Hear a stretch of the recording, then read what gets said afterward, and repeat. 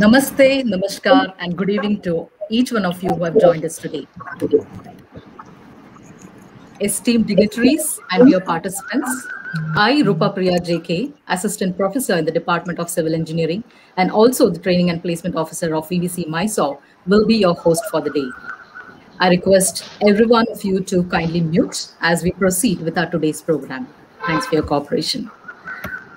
Respected members of the management of Vidyavardhaka Sangha, Sri Gundappa Gowda, the Honorable President of Vidyavardhaka Sangha, and Engineer Sri Vishwanath, Honorable Secretary of Vidyavardhaka Sangha, respected Major General Manoj Kumar Bindal, Executive Director, National Institute of Disaster Management, Government of India, New Delhi, our beloved Principal, Dr. B. Sadashiv Gowda, organizing chairs, Dr. Chandan Ghosh, Professor at National Institute of Disaster Management, Government of India, New Delhi. Dr. S.K. Prasad, Professor and Head of the Department of Civil Engineering, PVC, Mysore. Dr. H.S. Dayananda, Dean, Academic Affairs. Dr. G.B. Krishnappa, Dean, R&D. Dr. Umesh P.K., Professor, Department of Civil Engineering, VVC, Mysore. Our respected resource persons of the day, Dr. T.G. Sitharam, who is the Director at IIT Guwahati, and Dr. Selvi Rajan, who is the director, advisor at IIT Madras, Chennai, and our dear professors, professionals, and dear students.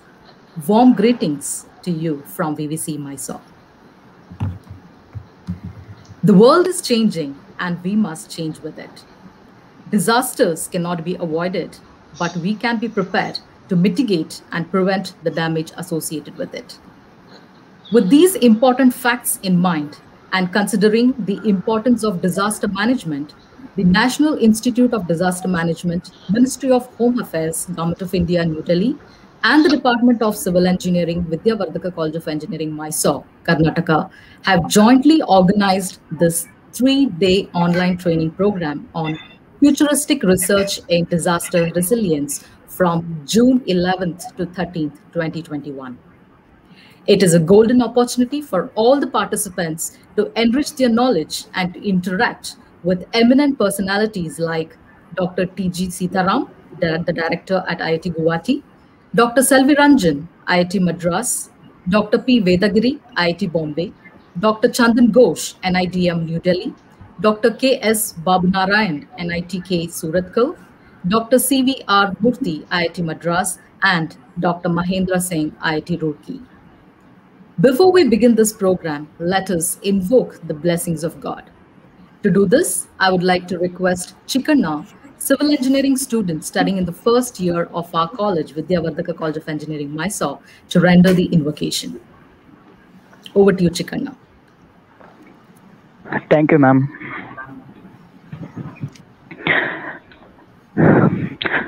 ಓ ಎನ್ನು ಬಾ ಗಣಪ ಕರೆದಾಗ ಓ ಎನ್ನು ಬಾ ಗಣಪ ಗಣಪ ಓ ಎನ್ನು ಬಾ ಗಣಪ ಕರೆದಾಗ ಓ ಎನ್ನು ಬಾ ಗಣಪ ಓಂಕಾರನಾದಲೋಲ ಹೇ ಗಣಪ ಓಂಕಾರ ರೂಪ ಶ್ರೀ ಗಣಪ ಓ ಎನ್ನು ಬಾ ಗಣಪ ಕರೆದಾಗ ಓ ಎನ್ನು ಬಾ ಗಣಪ ಮಾಯ ವಿನಾಶಕ ಮೋಷಿಕ ವಾಹನ ಮಾತ ಭವಾನಿ ಪಾರ್ವತಿ ನಂದನ मायविनाशक मोषिकवाहन मात भवानी पार्वतीनन्दन महागणपते परमदयागन महागणपते परमदयागन शम्भो नन्दन करवेनुना ಶಂಭೋ ನಂದನ ಕರೆವೆನು ನಾ ಶಂಭೋ ನಂದನ ಕರೆವೆನು ನಾ ಓ ಎನ್ನು ಬಾ ಗಣಪ ಕರೆದಾಗ ಓ ಎನ್ನು ಬಾ ಗಣಪ ಗಜಮುಖದವನೇ ಗಣಗಳಿಗೊಡೆಯ ಮೊದಲ ಪೂಜೆಯನ್ನು ಪಡೆಯುವ ದೇವನೇ ಗಜಮುಖದವನೇ ಗಣಗಳಿಗೊಡೆಯ ಮೊದಲ ಪೂಜೆಯನ್ನು ಪಡೆಯುವ ದೇವನಿ. ಆತ್ಮಲಿಂಗವನು ದರೆಯಲಿ ಇಟ್ಟವನೇ. ಆತ್ಮಲಿಂಗವನು ದರೆಯಲಿ ಇಟ್ಟವನೇ. ಬಾಲಗಣೇಶನೇ, ಕರೆವೆನು ನಾ. ಬಾಲಗಣೇಶನೇ ಕರೆವೆನು ನಾ ಓ ಎನ್ನು ಬಾ ಗಣಪ ಕರೆದಾಗ ಓ ಎನ್ನು ಬಾ Ganapa thank you everyone Thank you, Chikanna, for making this program more auspicious with a melodious invocation. Thank you. On this special occasion, I feel extremely happy to introduce a person whose areas of interest are earthquake, geotechnical engineering, and performance based design.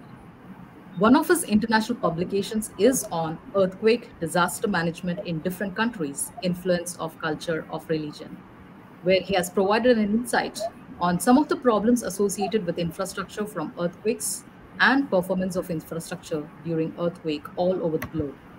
The Indian scenario is briefly discussed in comparison to other countries, and emphasis is made to enhance practices of earthquake resistant construction in our country. That's our respected HOD of Civil Engineering, Dr. S.K. Prasad, who secured first rank in engineering, was awarded gold medals and cash prizes, pursued MTech in IIT Kanpur, and pursued his PhD from the University of Tokyo, Japan. I request Dr. S.K. Prasad to kindly present the welcome address. Over to you, sir. Thank you, madam. Very good evening, everybody. We are all in the midst of the pandemic. We all know how difficult the situation has been for over a year. Government and other concerned organizations are trying hard to manage the problem, reduce the damage, bring down economic instability, and decrease the loss of life. But that's not enough. We need to get back to normalcy. We need to come back to the original situation. This is what defines resilience. National Institute of Disaster Management, NIDM, has been working very hard in this direction, creating awareness and to implement resilience during different disasters. Vidya Vardhaka College of Engineering, Mysore, popularly called VVCE, has been in the forefront in imparting engineering and management education. We have seven undergraduate programs, including civil engineering, and three postgraduate programs. I'm really proud and happy to state that all our undergraduate programs are accredited by NBA, and the institution has NAAC accreditation with an A grade. It is an autonomous college under Visvesvaraya Technological University and is among the highly sought institutions for engineering admissions in Karnataka. PVC is not only providing excellent teaching learning environment to about 3,500 students through 220 competent faculty members, but also focuses on research and innovation. These two organizations, NIDM and VVCE, have joined together for this three day online program on futuristic research in disaster resilience, involving seven excellent and eminent speakers. I'm proud and happy to welcome the dignitaries and participants for the inauguration of the training program. Firstly, let me take pleasure in inviting Major General Manoj Kumar Bindal, Executive Director, NIDM, in his absence. As he is preoccupied, he'll not be on the platform, but he has sent his best wishes for the success of this online training program. Let me then welcome my, you know, mm, uh, very beloved friend, and uh, you know, uh, with whom I have a, um, a contact for over two decades, Professor Chandan Ghosh, who is a senior professor at NIDM. In fact, you know, uh, he has not got just one doctorate, he has two doctorates one doctorate from IIT Kanpur and the other one in Japan from Ibaraki University. I welcome Professor Chandan Ghosh for this uh, inaugural.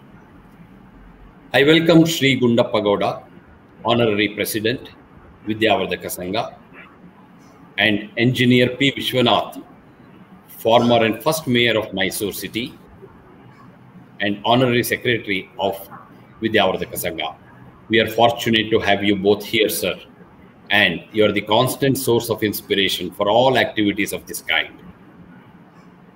I also welcome Professor T.G. Sitharam, Director IIT Guwahati, who will be joining us in about 30 minutes time for a keynote followed by his first lecture. Sir, we are honored that you accepted to be part of the inauguration and then to deliver the first lecture in spite of being very busy. I take this opportunity to welcome respected principal of Vidyavardhaka College of Engineering, Professor B. Sadashiva Gowda, who is the main pillar of our institute and motivator for all such programs. I also welcome Sri B. Shivalingappa, Honorary Vice President Vidyavardhaka Sangha, Sri Shishaila Ramanavar, Honorary Treasurer Vidyavardhaka Sangha for the inaugural function.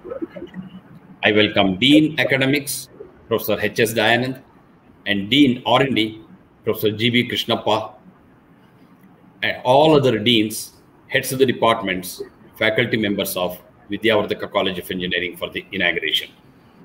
I welcome the technical team, staff, faculty members, and students of the Department of Civil Engineering. I welcome the other honorable speakers, Professor C.V.R. Murthy of IIT Madras, Professor Mahendra Singh of IIT Roorkee, Professor Selvi Rajan, Dr. Selvi Rajan, advisor at IIT Madras, Professor Vedagiri from IIT Bombay, Professor Babu Narayan from NIT Surathkal, and the members of staff and faculty of NIDM. Most importantly, let me welcome the participants. I'm happy that you all have registered in large numbers, amounting to maybe around 800 as I heard last. We have academicians, researchers, working professionals, and students as participants. And you are the backbone of any such program. I wish you all will have a great time. My big welcome is to all of you who have assembled online. Thank you. Back to Professor Rupapriya. Thank you so much, sir. A warm welcome to you too for this inaugural function.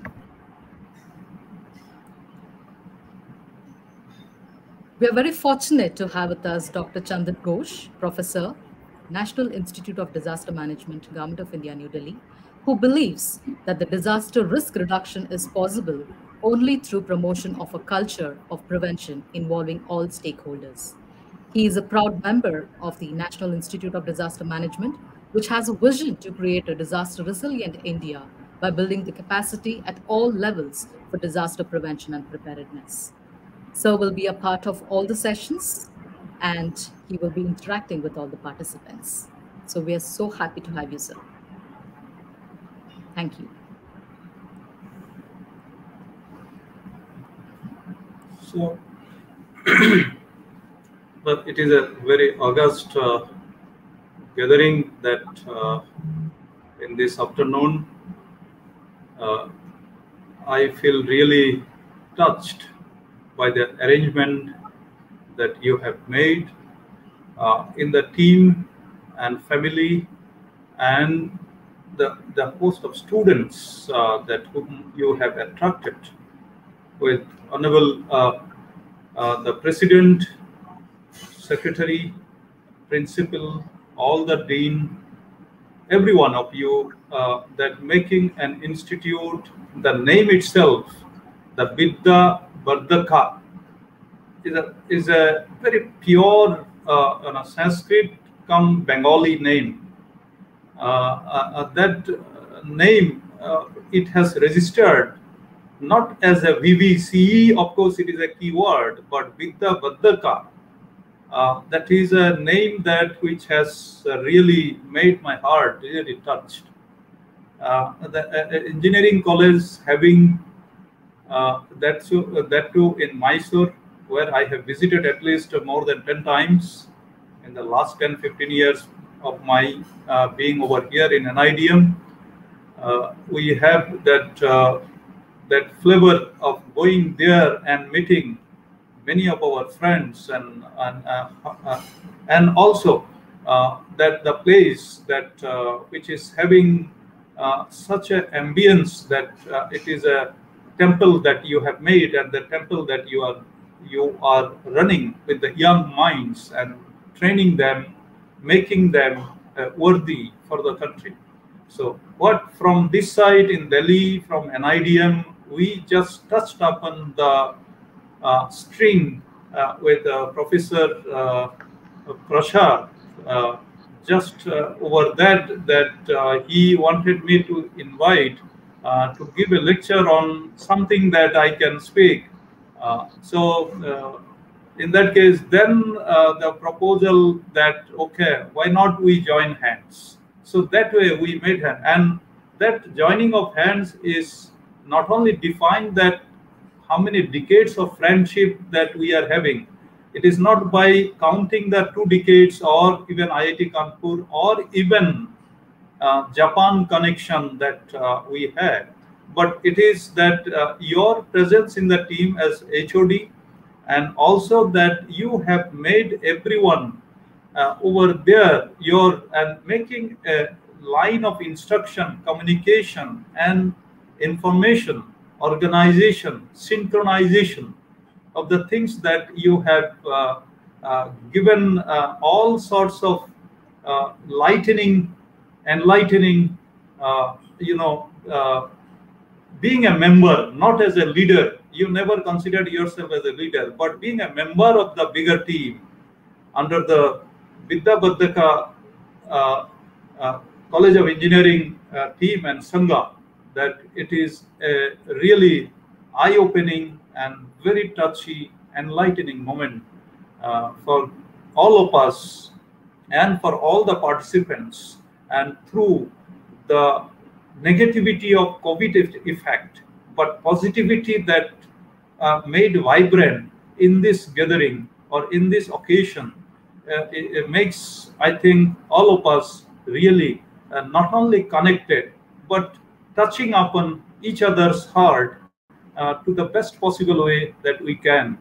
And the topic here chosen, futuristic research or future research in disaster resilience uh, is so so much that relevant to uh, not only engineering faculty uh, but also all sorts of all kinds of things that we live in so here of course uh, while uh, making this plan you have already planned everything only i came in between uh, in the, and then we we made both the institution together and about 700, 800 participants uh, are part and parcel of this occasion. So on behalf of our uh, Executive Director, Major General Manoj Kumar Bindal, and my team over here that uh, my all faculty members, we are eight, uh, four professors and then four assistant professor.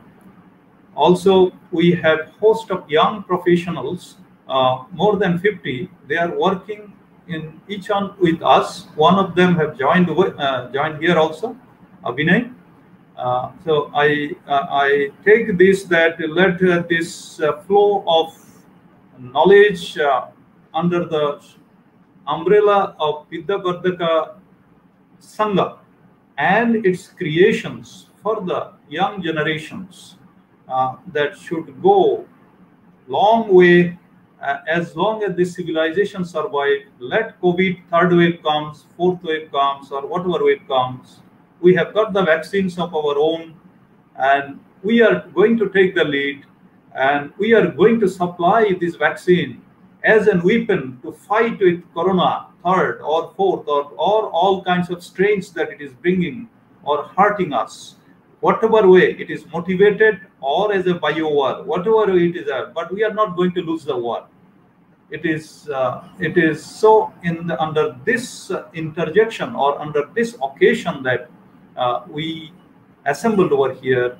And when we have assembled in this way taking this online medium of communication as a part and parcel which you have created yours college you have created this thing in this manner and connecting and extending uh, through youtube channel and other things in such a way that uh, really it is heads up to you uh, your organizing uh, capacity uh, and as well as uh, bringing this occasion happen in such a short period of time thank you very much and let us be together and it is uh, let us not define that by our coordinates that where we belong to but we belong to this world and this civilization.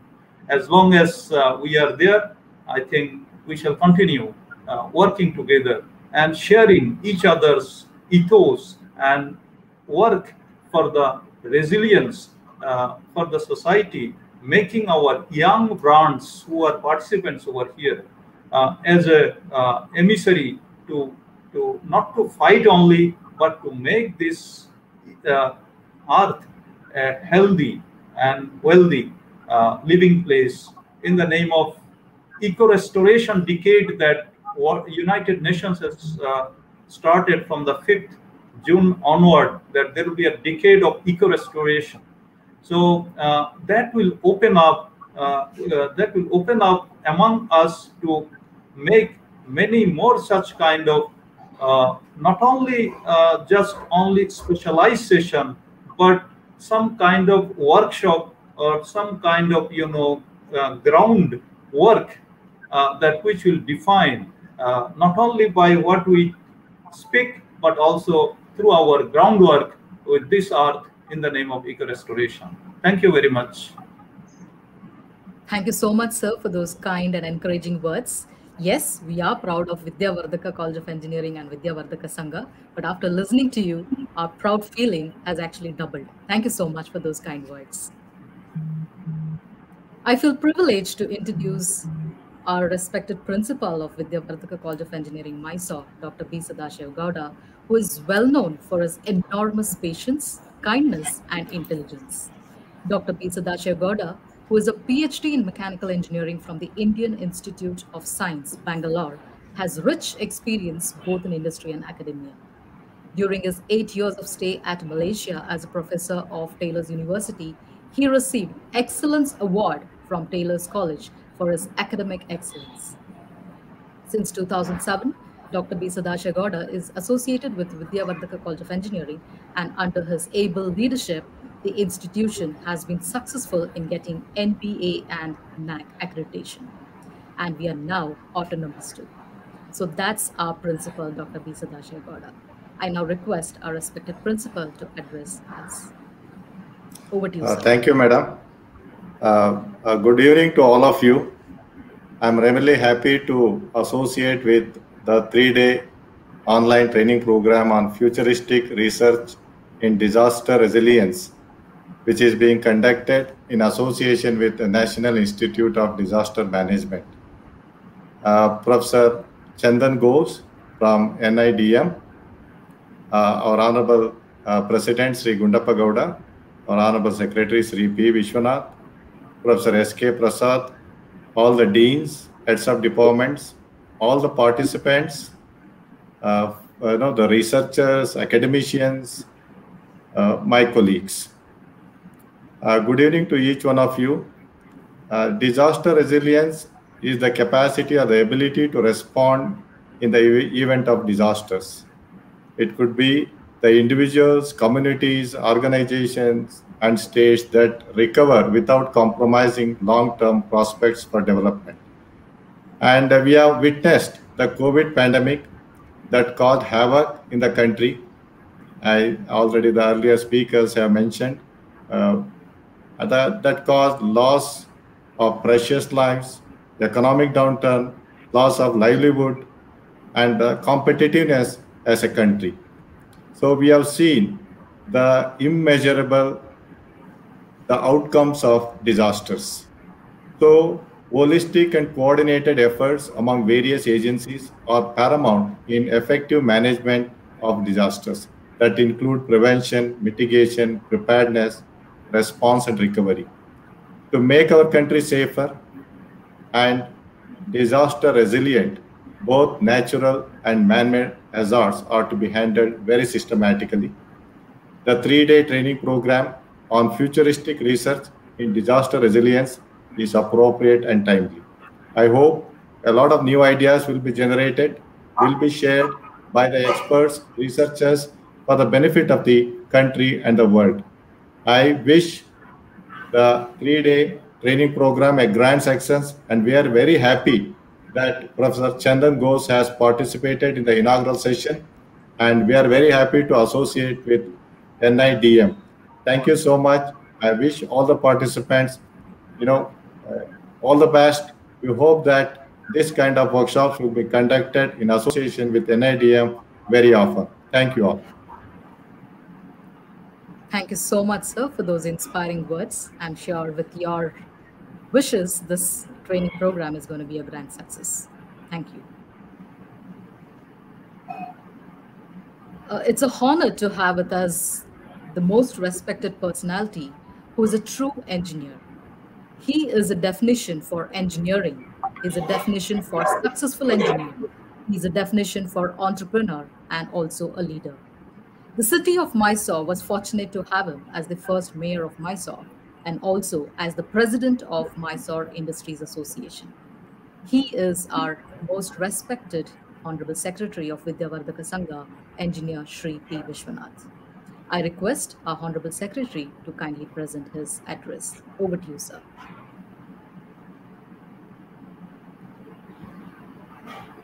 Good evening, everyone. I'm very happy to associate myself on the three-day online training program of futuristic research and disaster resilience. I'm very happy that uh, decided by our Honorable President Gunda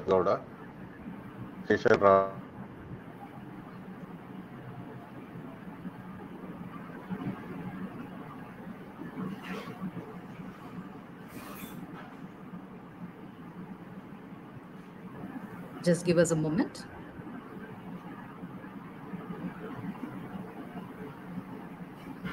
Okay, sorry. There was some network issues. I'm audible. Yes, Yes, sir, sir, you are can. audible, sir. You are audible. Okay, thank you. Thank you. Thank you. Our uh, uh, the chief guest, Chandan Ghosh, Dr. Chandan Ghosh, Dr. Sadashiva Gowda, S.K. Prasad, Dr. Mrs. Dayananda, Dr. G.B. Krishnappa, Dr. Uman Umesh, Professor Kanmani, Professor Raghavendra, and all the people who are involved in us and organizing this uh, three-day program. Very happy. This is one of the a major issue which can be tackled by the civil engineers. The disaster, uh, the area where civil engineers just design in such a way that this should not happen, or in case happen, it should be able to withstand. The, like earthquake, and uh, landslides, and so many things. I'm sure that uh, this three-day training program will bring in many uh, important issues and uh, very reputed people are there on the, the on the list. I'm sure that they'll be able to put in more uh, knowledge in the three days. I wholeheartedly, wholeheartedly, I will uh, uh, compliment the organizers and a good future for this. Wishing you all well. Thank you. Thank you so much, sir, for your valuable address and also your encouraging words. Thank you.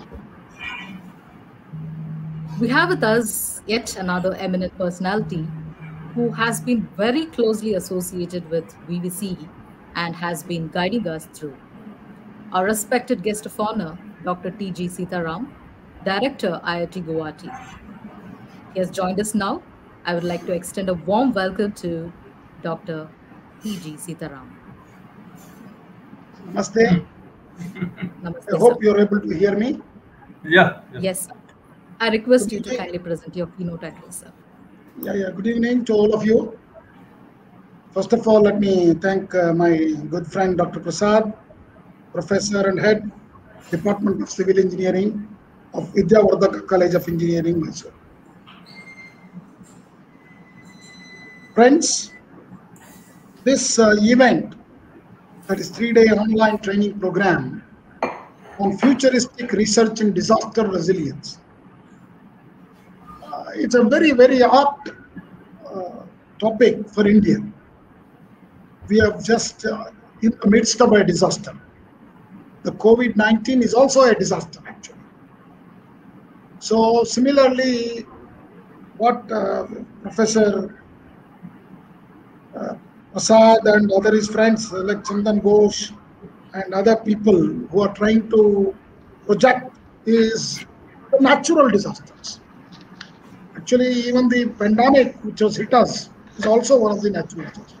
Let me congratulate the team to think about a research and a webinar on a topic of disaster resilience, which is very, very essential for any country in that matter. I hope that the outcomes of the entire this three-day online training program, where they're going to summarize the new topics, give new directions and ideas. I'm also seeing some of them are civil engineers. They're going to talk about the disasters like earthquakes, landslides, and then floods, drought. All are very, very actually close to the common man. And for uh, the, such a conference or uh, such a webinar, it's actually very, very useful to the society, wherein we can learn. Let me begin with a quote of Dr. Kofi Annan, former UN Secretary General. He quotes, while many people are aware of the terrible impact of disasters throughout the world, few realize this is a problem that we can do something about. So this is what this uh, seminar is going to talk about. That is the futuristic research in disaster resilience. So uh, basically, you know, people talk about all uh, everything is not a disaster. For example, the same earthquake happens in Greenland, where there is no population, no habitat, no buildings. And not even people uh, doesn't even report it because it is not a consequence. So we need to understand as engineers the difference between hazard, vulnerability, risk, and disaster. So let me take you through. Basically, an hazard is a process where phenomena or human activity that may cause loss of life, injury, or health impacts, or it could be a property damage, or it is a social and economic disruption, or environmental degradation. There is no such thing as a natural disaster because it is a natural hazard. Earthquakes are hazards. When it becomes a disaster, that is what we need to understand. These effects, whatever the earthquakes, landslides, influence the intensity and some cases frequency of extreme environmental events, such as it could be forest fire, it could be hurricanes, it could be heat waves, floods, droughts, storms. So disaster risk is therefore considered as a combination of the severity and frequency of a hazard, and wherein the number of people and assets exposed to this hazard, what we call vulnerability, and to the damage. So, particularly the role of civil engineers in this is very, very important. And I'm very happy that Vidyavardhaka College of Engineering, from the Department of Civil Engineering, this event is being taken up.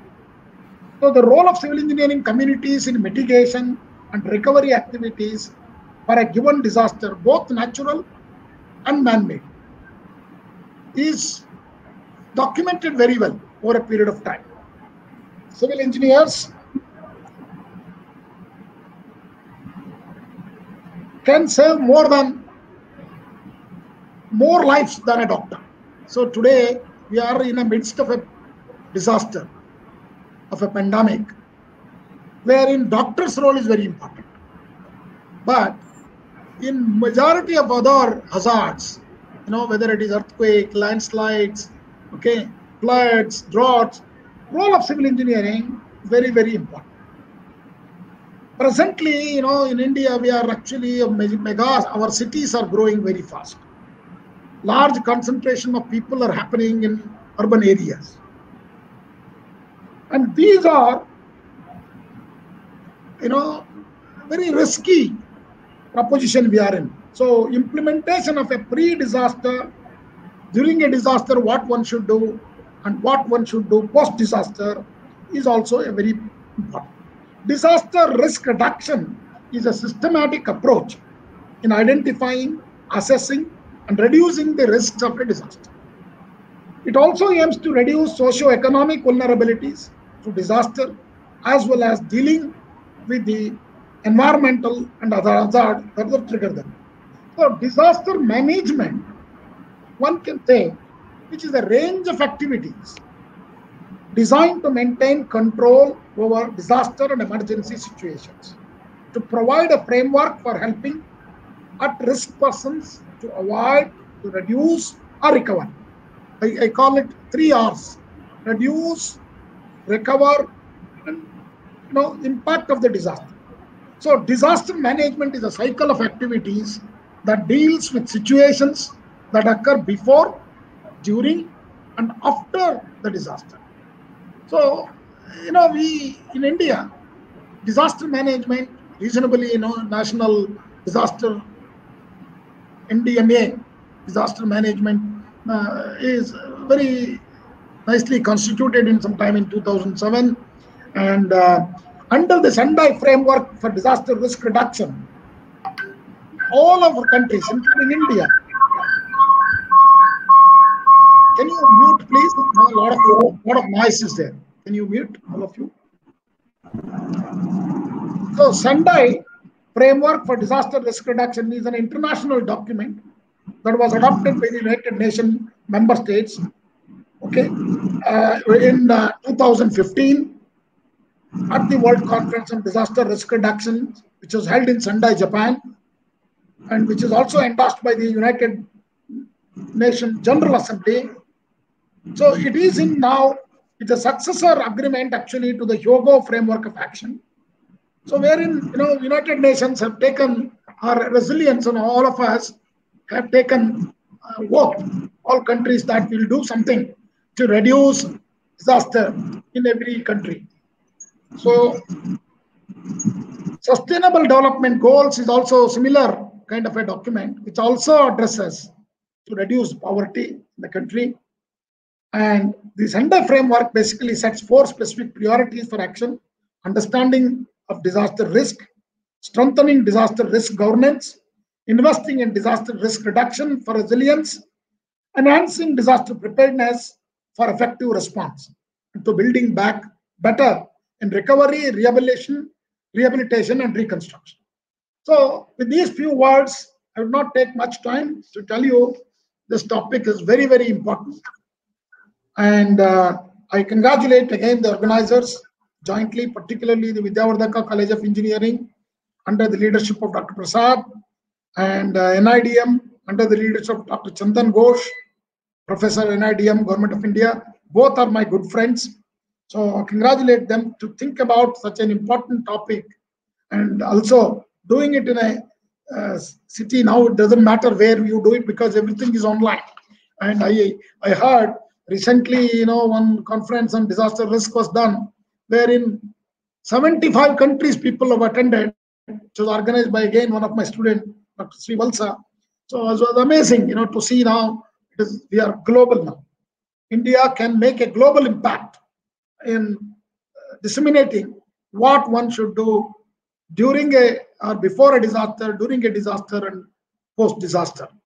So, through this, a lot of awareness will happen, and resilience should be brought in the community so that we will be able to handle the disasters.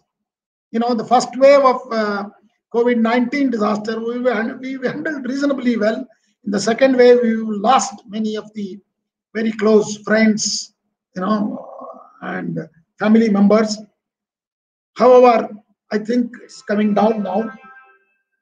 And uh, hopefully we will come out of this soon and go normal again, you know, like what we used to do uh, before March 2020. Hopefully, I wish everybody you know, happy time so that you know soon we will come out of this great disaster which we are facing the entire world actually so i thank the organizers for giving me this opportunity and i wish the program a great success i hope there will be some learning and uh, some lectures would be very interesting to many of you i hope uh, you will pick up some of these important topics in disaster resilience, what one should do. So I wish the program a great success. Thank you very much. Good day. Thank you so much, sir, for presenting your keynote address.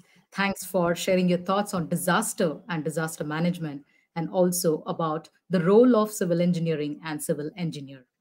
Thank you so much. Simple and humble, respects Mother Nature and wishes good for all. He is our respected Honorable President of Vidyavardhaka Sangha, Sri Gundappa Gowda. I request our Honorable President to kindly deliver the presidential address. Hello, Namaskara. VVC civil engineer ವಿಭಾಗ ಮತ್ತು ರಾಷ್ಟ್ರೀಯ ವಿಪತ್ತು ನಿರ್ವಹಣಾ ಸಂಸ್ಥೆಯೊಂದಿಗೆ ಆಯೋಜಿಸಿರುವ ಮೂರು ದಿನದ ನೈಸರ್ಗಿಕ ವಿಪತ್ತು ನಿರ್ವಹಣೆ ರಾಷ್ಟ್ರೀಯ ಮಟ್ಟದ ಕಾರ್ಯಾಗಾರದಲ್ಲಿ ಭಾಗವಹಿಸುವ ಎಲ್ಲ ಅಭ್ಯರ್ಥಿಗಳಿಗೂ ಶುಭವಾಗಲೆಂದು ಹಾರೈಸುತ್ತೇನೆ. ಹಾಗೂ ಕಾರ್ಯಕ್ರಮ ಯಶಸ್ವಿಯಾಗಲೆಂದು ಭಗವಂತನಲ್ಲಿ ಪ್ರಾರ್ಥಿಸುತ್ತಾ ನಾನು ಎರಡು ಮಾತನ್ನು ಮುಗಿಸುತ್ತೇನೆ. ನಮಸ್ಕಾರ. Thank you sir Dhanyavadagalu. We have now come to the end of today's inaugural function. The sessions planned after the vote of thanks are presentation on coastal reservoir solutions for disaster resilience by Dr. T.G. Sitharam, Director IIT Guwahati, and presentation on research priorities in the field of wind engineering to restore resilient future by Dr. Selvi Rajan, Advisor, IIT Madras, Research Park, Chennai. Before we formally close this inaugural function, let us remember the words of Benjamin Franklin, who said, By failing to prepare, you are preparing to fail. So let us prepare now to never fail later. Thank you. Now I request the organizer of this online training program, Dr. Umesh PK, to propose vote of thanks. I request all the participants to stay tuned for the sessions. Over to you, sir. Thank you, madam. Good evening to one and all. It is my great pleasure for me in proposing the vote of thanks on this special occasion of inaugural session of three-day online training program on futuristic research in disaster resilience organized by Research Studio, Department of Civil Engineering, Vidyavardhaka College of Engineering, Mysuru, in collaboration with the National Institute of Disaster Management, Ministry of Home Affairs, Government of India, New Delhi. I would like to thank uh, Major General Manoj Kumar Bindal, Executive Director, and Dr. Chandan Ghosh, Professor of uh, NIDM, Government of India, for funding this program and for the active participation of Dr. Chandan Ghosh in the inaugural function. I wish to express sincere thanks to Professor T.J. Sitaraman, Director IIT Guwahati, for being part of inaugural function and for delivering the keynote address. We we look forward to listening you your lecture now, sir. I would like to thank our President uh, Sri Gundappa Gowda, Vice President Vice President Shivalingappa, and Honorable Secretary P. Vishnath, and Honorable Treasurer Sri Shaila Ramanamar, Vidyavardhaka Sangha, Mysuru, for all the support and encouragement in organizing such events and for gracing this occasion. I would like to uh, thank our beloved principal, Dr. B. Sadashiva Gowda, for his constant motivation and encouragement in organizing this program and being a part of this inau- inaugural function. My heartfelt thanks to our uh, doctor, our uh, HOD, Dr. S.K. Prasad, Department of Civil Engineering, Vidyavardhaka College of Engineering for his continuous support and effort taken to organize this program. I would like to thank Dr. H.S. uh, Dayananda, Dean Academics, and uh, Dr. G.B. Krishnappa, Dean R&D for their support. I express my sincere thanks to the uh, organize, organizing coordinator, Professor Kanmani SS and Professor Raghavendra SS for their tireless uh, effort in organizing this program. Also, I would like to thank Mr. Balaji, Mr. Kumar Abhinay, and, and the technical support team from NIDM, and Professor Rajit, Professor Manoj, Professor Girish, Professor Sachin, Mr. Pushkin, Mr. Avinash, and all other technical supports from VVCE Mysuru. My sincere thanks to all the teaching and non-teaching staff of stud and students of VVCE in general and civil engineering in particular. My heartfelt thanks to the participants for joining their hands in learning from the from this program, futuristic research in disaster resilience. We look for we look forward for your active presence in all three days of this event. Thank you. Thanks one and all. Thank you, madam. Over to Thank you so madam. much. Thank you so much, sir, for doing the honors. I would like to once again thank all our esteemed guests for joining us for the inaugural function. Thank you so much.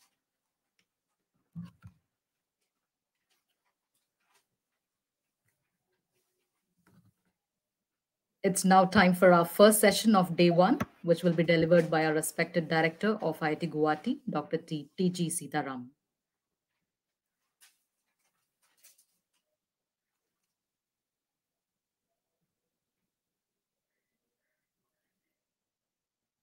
I request Professor Raghavendra, Assistant Professor in the Department of Civil Engineering, Vidyavardhaka College of Engineering, Mysore, who is also the coordinator of this event, to welcome and introduce our respected guest. Over to you, Raghavendra. Thank you, Rupapriya madam. Good evening. Thanks to each and every one of you for being here with us today. I'm very pleased to welcome everyone present on the occasion of the first lecture of online training program on futuristic research and disaster resilience being organized by Vidyavardhaka College of Engineering, Mysuru and National Institute of Disaster Management, Ministry of Home Affairs, Government of India, New Delhi. First of all, I have the pleasure in welcoming the eminent researcher and administrator and today's speaker, Professor T.G. Sitharam, for the occasion. Welcome to you, sir. I also welcome Professor Chandan Ghosh of NIDM, National Institute of Disaster Management, New Delhi, for uh, Dr. S.K. Prasad, HOD, Department of Civil Engineering, VVCE Mysuru, Dr. H.S. Dayananda, Dean Academic Affairs, Dr. Umesh P.K., and Professor Kanmani S.S., Coordinators, Research Studio, Department of Civil Engineering, VVCE.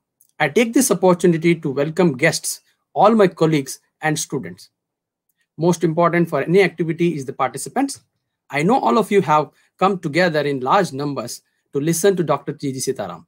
I wholeheartedly welcome you all. I welcome each and everyone. I have a pleasure duty to perform that is to introduce Professor T.G. Sitharam to all of you. He doesn't need any introduction and I have also cut, cut short stating many of his achievements. Dr. T.G. Sitharam, Director, IIT Guwahati, has obtained his BE in Civil Engineering from Government BDT College of Engineering, Davangere, then belonging to Mysore University, India in 1983. Masters in Civil Engineering from IISc Bengaluru in 1986 and PhD in Civil Engineering from University of Waterloo, Ontario, Canada in 1991 in the area of geomatics. His areas of interest are geotechnical engineering, earthquake engineering, rock mechanics, geosynthetics, coastal reservoir, and underground dams.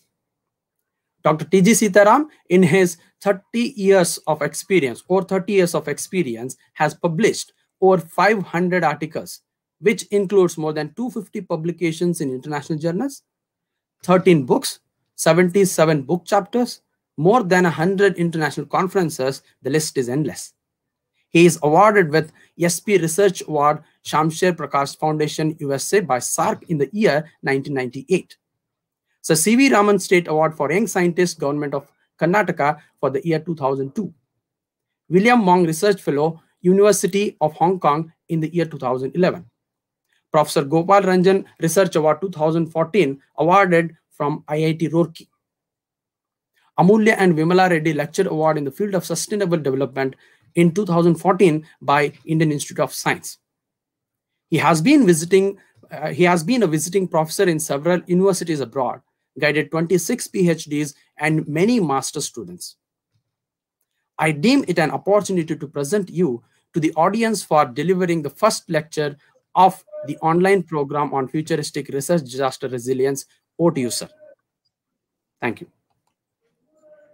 Thank you so much, Raghavendra. Uh, so before I hand over the session to you, I would like to inform all the participants about the rules. So while uh, Sir is presenting, you can post your queries in the chat box during the session, but please mention your name and also the location, that is from which place you belong to, so that at the end of the session, we'll be able to take your queries and Sir will be able to answer all your queries. Now I request Dr. T.G. Sitharam to kindly take over. Over to you, sir. So kindly unmute, sir.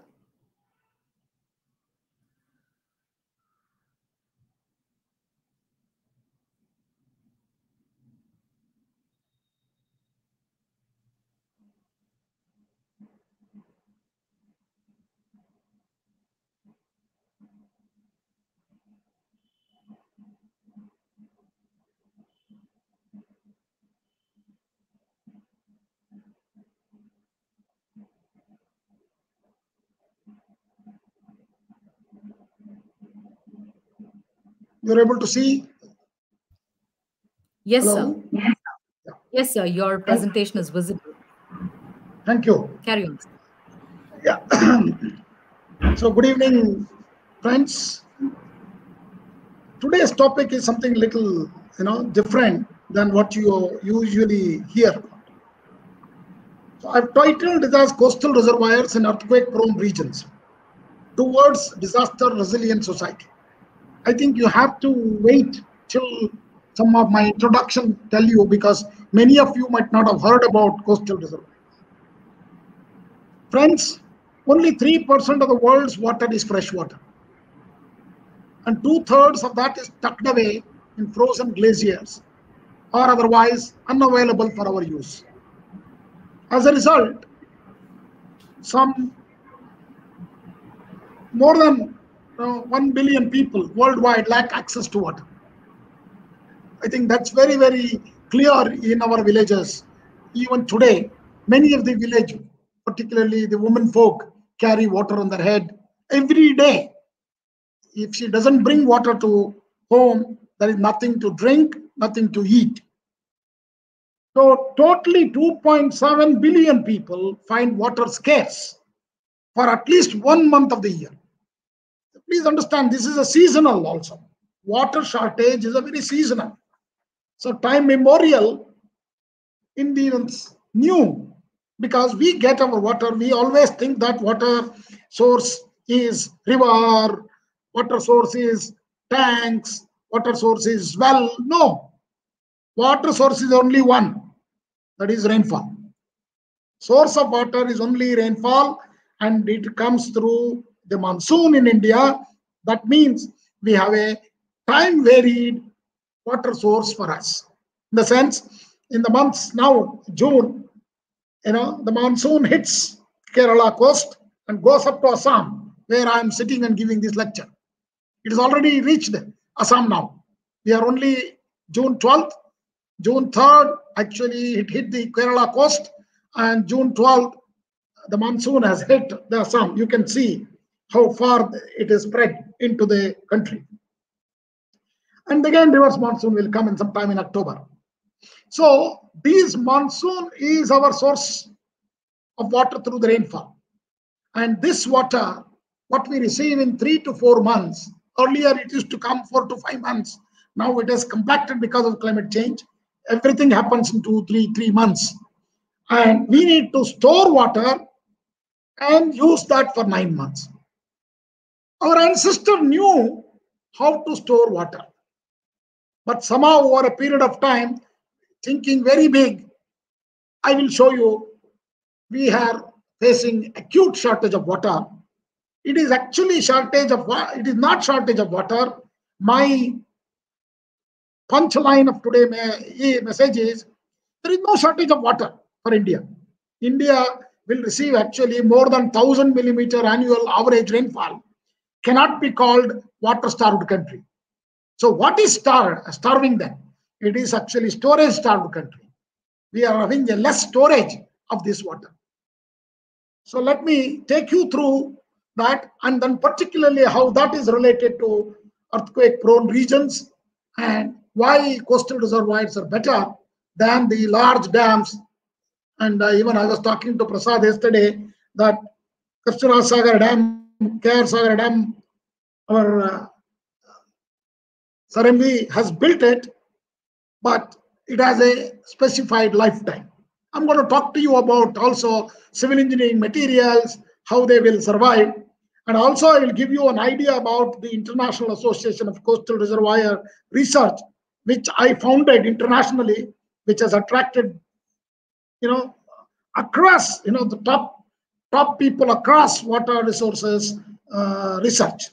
So that, you know, I would like to share that information to you. And then I'll conclude why coastal reservoir will be the futuristic storage reservoirs when compared to large dams. So water stress by country in 2040, this is a document prepared by the World Resource Institute. You can see India is painted big in red color. Okay, that means there is a ratio of withdrawal to supply close to 40 to 80 percent. That means there is a large shortage. United Nations by 2025, more than two thirds of the world total population could be living in water stressed condition.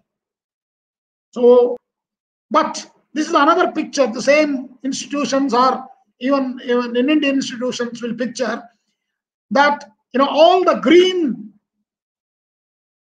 colored areas receive more than 1000 millimeter average annual precipitation. That is rainfall. That means a country which receives more than 1000 millimeter average annual how can you call water stressed country?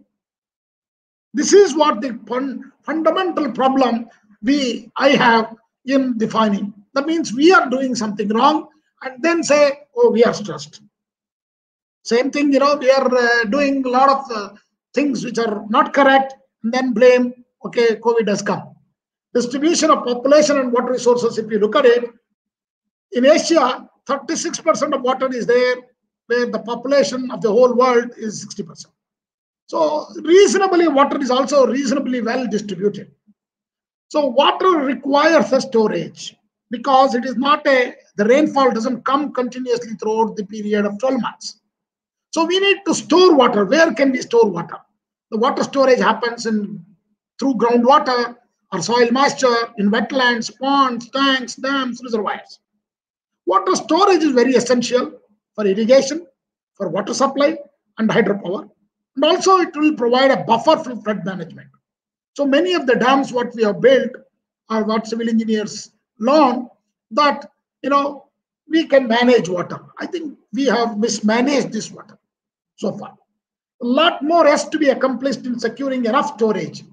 That's what I'm, my punchline. As I told you, there is a shortage of storage, not shortage of water in India. There are countries where there is a shortage of water. That is Israel, Saudi Arabia. Okay, uh, such countries, when mid, uh, any of the Middle East countries, where there is a shortage of water, but we do not have any shortage of water water storage needs to be protected against viruses, contaminations, bacteria, pollution, and whatnot. So what has happened is over a period of time, the resident time of this water in our land is becoming smaller and smaller in different layers of the earth. That is because of degradation of forest, increased soil erosion have reduced the resident time of water. So once it rains, that too because of climate change, rainfall also comes in a very short period, like what we see in Kerala. Okay, the floods come very quickly. And in urban areas, this water simply, you know, Bangalore itself, you can see one hour heavy rainfall, next hour it's completely dry. Even we cannot even notice that there was a rainfall. Why this is? That's because that there is a quick flow of water and it reaches downstream because you know the rivers or the streams are the lowest reduced levels available in that area which will attract rivers and streams attract the all the water towards them because they are the lowest RL in that region. So all the catchment is towards that rivers. So due to soil erosion and siltation, water bodies lose their capacity to store waters. So more people definitely, there is another problem. We have more people, population is increasing, and also the consumption of water when compared to 50 years back. And we are all now becoming, you know, westernized with the tap water and tap running, taking shower, you know, all that. And also industries consumption is large. All this, you know, we are also using more water. So that means more people, more water usage, and we also try to build more dams. I will talk about that in a little while. We are forgetting actually storing in the conventional ground with the way it used to be naturally used to happen. That is not happening. So where are these dams? If you look at these large dams, which all countries have built, India is the third largest dam building nation in the world. Okay. And how many dams you have built? I keep on asking many civil engineers. Many of them don't even know because they don't even think about it. So when we uh, got independence in 1947, we had something like 300 large dams. What is a large dam? According to the International Committee of Large Dams, a large dam is a one which can store 1 million cubic meter of water or a dam which is more than 15 meter tall, okay, to store that water, or a dam which is having a unique structure like an arch dam or uh, something very unique, you know, uh, structurally. So then it's also called, even though it is less than 15 meter, we also call them as a large dam. So if you look at these uh, population, now I'm, I'm, I'm showing you this picture where the population, where the city is having more than 10 million. So India has a large number of cities which has more than 10 million or more, what we call mega cities.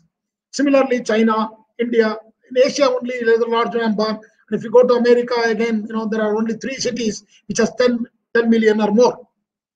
So this is the urban population. Urbanization, most of most of the people will live in cities. Mega cities appear in coastal areas. So even in India, if you look at the most of the mega cities, except living Bangalore, you know, it's a very odd growth actually. You know, if you look at Chennai or Kolkata or Mumbai, you know, all of them are actually on the coast. Coastal area will have the most severe water shortage problem. Okay. Uh, also, because as I told you, uh, we recently we are seeing a lot of floods during the monsoon, and then soon after that, you know, uh, in the summer we have a shortage of water. So where are our dams? So the dams are all actually upstream, and people are on the downstream. So people are migrating to coastlines in India also now, and many many cities are coming up, and the kind of planning what we are doing, connecting through Bharatmala and all that, there will be a lot more activity because of ports, new construction of ports, and other transport, you know, multi transport uh, methodologies what we are following. So here, what most of the dams which we have built actually are in the middle course of the rivers and the middle of the river, uh, not in the upstream. So once it comes out, for example, if you look at it, uh, uh, Western Ghats itself, the rivers actually take birth in Western Ghats and some of them flow eastwards, some of them flow westwards. Best flowing rivers are actually smaller in length, about 100, 100 kilometer, but their gradient is very high in the beginning. And once they reach the coastal areas, they'll become flat and then reach the ocean, particularly the Arabian Sea. But majority of the rivers, actually our Indian rivers, flow to Bay of Bengal. Majority of them, including the Himalayan rivers like Ganges. Okay, all of them actually flow into uh, the uh, Bay of Bengal. So dams and earthquakes, dams and earthquakes have a common you know something common. Why? Because dams are actually uh, built in active earthquake areas. Why? Why I say that is the reserve basically the rivers are one of the faults or lineaments. Okay, so when you build a dam, it will be across the uh, river or a, across a river. So automatically you are actually building on a fault. So reservoirs also can trigger earthquakes. Koyna has taught us, and many because of the ingression of water over a period of time, it can cause also micro earthquakes. People have already studied about what is called as reservoir-induced earthquakes. And some water supply structures are susceptible to earthquake motion as well. Unstable slopes that have been weakened after the saturation, like surrounding hills, can, like Italy, you know, the dam which uh, broke because you know some of the neighboring hills become saturated and submerged into the water body. Then it displaced the so large quantity of water. It wore up the dam. So the consequence of a dam or a water supply failure is very high when compared to earth when when you are looking at earthquakes. So the effects of dam failure on people and structures downstream are dramatic and obvious so let's look at where this kind of large earthquakes can happen so all, all of you know, know that the, large earthquakes can happen on the plate boundaries. So these plate boundaries are basically, there are seven large plates and uh, India is in an Indo-Australian plate. Actually, Indian plate is moving in north-northeasterly direction, hitting the Eurasian plates for, by forming the Himalayan mountains. So the, the red dots is the basically the boundary of these plates and what we call the Pacific plate, which is called a ring of fire where you know japan and all those countries come in and even some of the indonesian countries also will come in there. So the active volcanoes plate tectonics all happens at the interplate boundaries. So generally smaller earthquakes occur in the intraplate. Like you know what you saw in Bhuj or uh, Latur earthquake were all called intraplate. Within the plate, some earthquakes happen, but they generally don't have the magnitudes like what happens of the interplate. So our planet is definitely restless. We can do nothing about controlling the earthquakes. Okay, that's why I'm keep telling you we can never control its activity inside what happens and cannot control its vibrations as well. But what we can do is we can actually build structures to withstand these vibrations. So the major challenge is to understand how these vibrations occur. So why dams are often built in active earthquake areas? As I already told you, dams are usually built in valleys, in the river course. River itself is a fault, majority of the cases. Under compressional tectonic force, rivers or thrust faults produce uplift. Therefore, many dams have an active fault dipping under them. So please understand, all these are sitting on a ticking bomb. Any, anywhere, any, any place, either intra or interplate, they can trigger earthquakes. So once that earthquake is triggered, that your structure should have withstand that. So we need to understand how to build dams on the earthquakes. So on the, another topic which I talked about is the reservoir triggered earthquakes, where large new reservoirs can trigger earthquakes. It's a uh, sort of a concept which is sort of reasonably accepted. Uh, well, reservoir triggered earthquakes are often referred to as reservoir induced seismicity, but use the term induced is now becoming unfashionable. Otherwise, people accept that these uh, can cause minor small earthquakes. The energy released in a reservoir triggered earthquake is normal tectonic strain energy that has been prematurely released because of the reservoir. So causes of the failure of the dams, if you look at all over the world, earthquakes have generally not caused major majority of the failures. Please note that. Earthquakes have not caused the uh, dam failures. Earthquakes have generally uh, less than one. Majority of the failures have occurred because of foundation problems, geotechnical engineering. And some of the list I don't want to go through. Even India also we had many dams which are failed and surface faulting and all that. But let me come to the today's topic of disaster risk resilience. Uh, that Sendai framework for disaster risk reduction signed by all countries in 2015 2030, we are not very far away, nine more years to go. And uh, that's a very less time to really make a substantial reduction of disaster risk and losses in lives, livelihoods and health and the economic, physical, and social, cultural, and environmental assets of persons and businesses in the countries where these population or communities are living.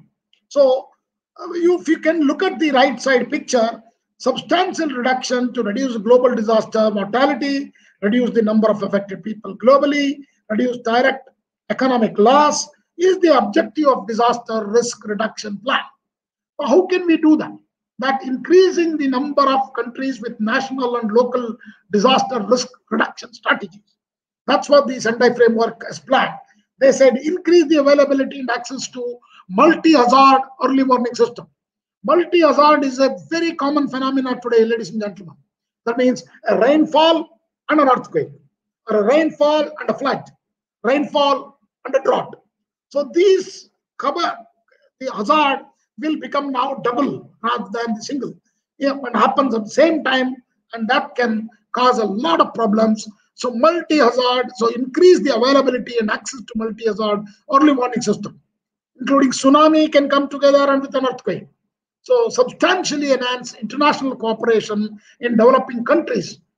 That is where you know large number of countries have signed this Sendai framework for disaster risk reduction. So next question I'm putting to the audience is, are these large dams what we have built to store water are forever?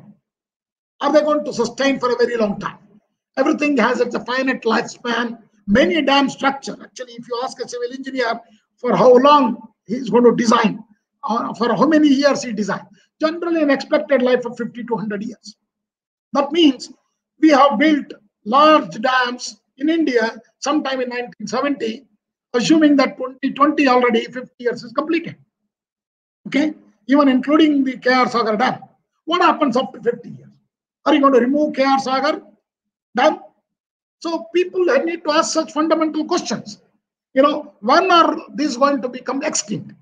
Even assuming that it is going to survive another 50 years, that means by 2070, you might have to remove Sagar Dam. So what you are going to do, are you going to build in the same dam at the same location? What happens and when are you going to demolish this?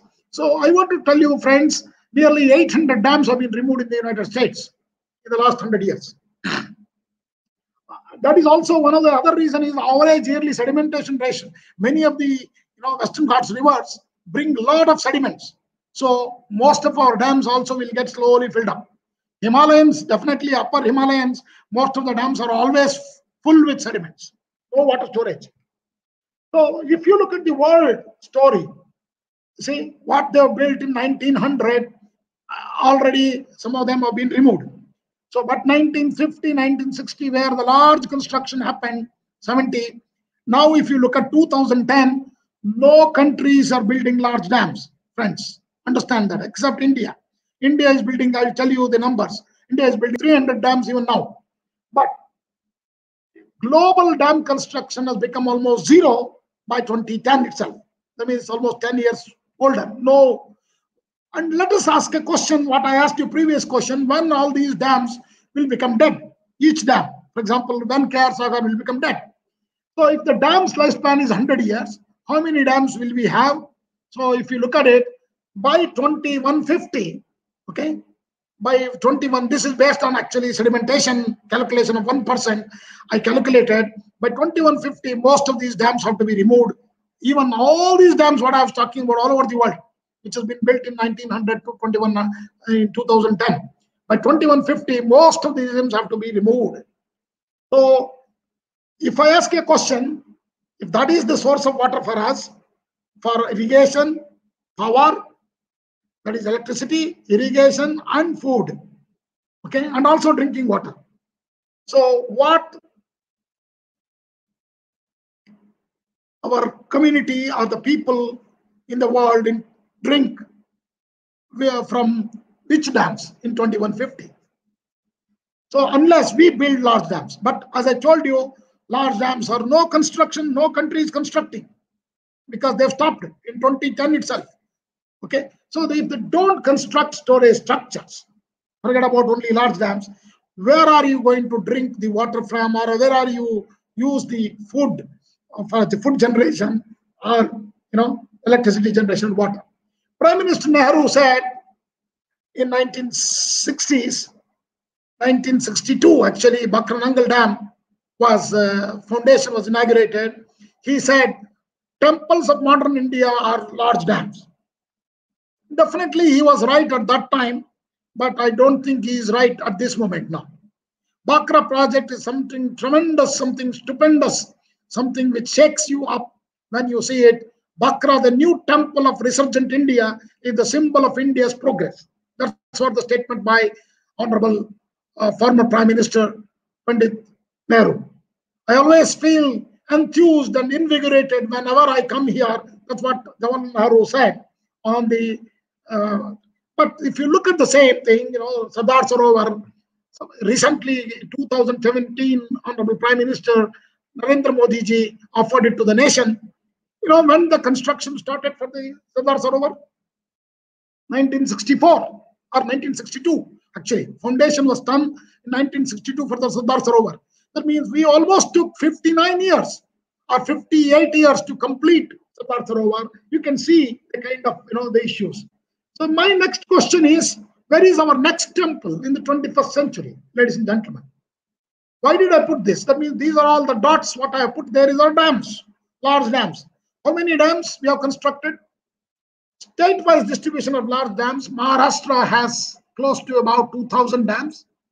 Okay, Madhya Pradesh has 800 dams.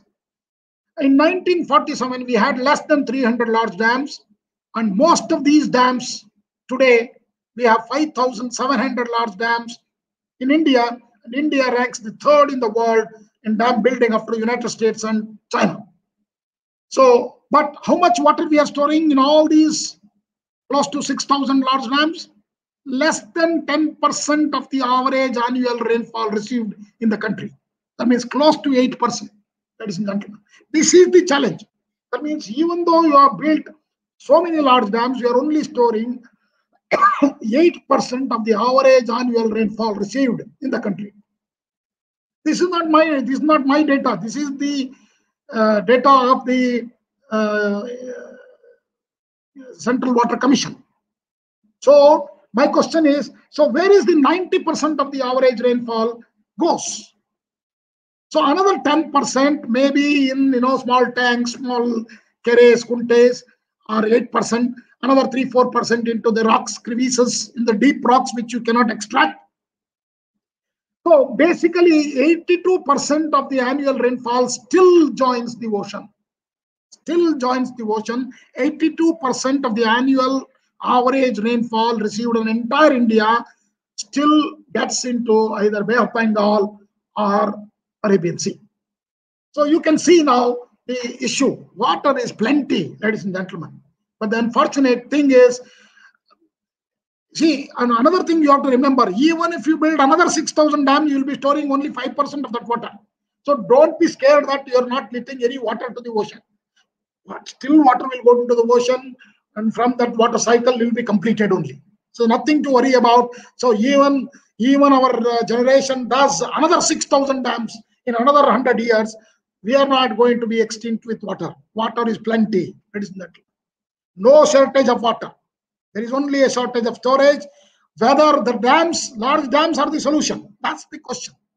Large dams are the solution, are the way in which we are building, like what Nehru, Pandit Nehru said, modern temples of India is going to be still the modern temple of India. That's the question. The question is, I think today it is not relevant. So that's kind of dams are not going to be work for us. So what are the other solutions? If you look at the other solution, as I told you, inland dams, that is called what we call large dams, or no, no. So we started talking about interbasin transfers. You have seen Ganga, that is, that is we are trying to connect Godavari to Krishna, and many like that, Kaveri to some other river, you know, something like that, are also are happening across the country. That means if there is a water in Ganga, can we bring it? But in a country like India, it's very difficult to bring Ganga to southern India. Very, very challenging. Let me tell you, through the land, because it's a way, it's going to cause a lot of environmental damage and is already seen because water is a state subject. We are seeing a lot of court cases and litigations are happening between the states. And you saw recently for 10 you know TMC of water, entire cabinet of Karnataka has to go to Goa to really uh, discuss. This is the kind of a things that are happening. The another area is the wastewater recycling. Definitely wastewater recycling we need to do, but please understand community acceptance for drinking water, no, no. You see, even in a, there was a survey in Singapore saying that, you know, uh, they call NEWater. This is the water which is the toilet water, which is clean, even though it is much cleaner than Kaveri water, people don't want to drink. And they, they did a survey in Singapore also. Forget about India. India, we are all highly religious. We'll never touch that water. We don't mind uh, dirty, drinking dirty water from Ganges, but not the toilet water, which is clean, maybe 100%.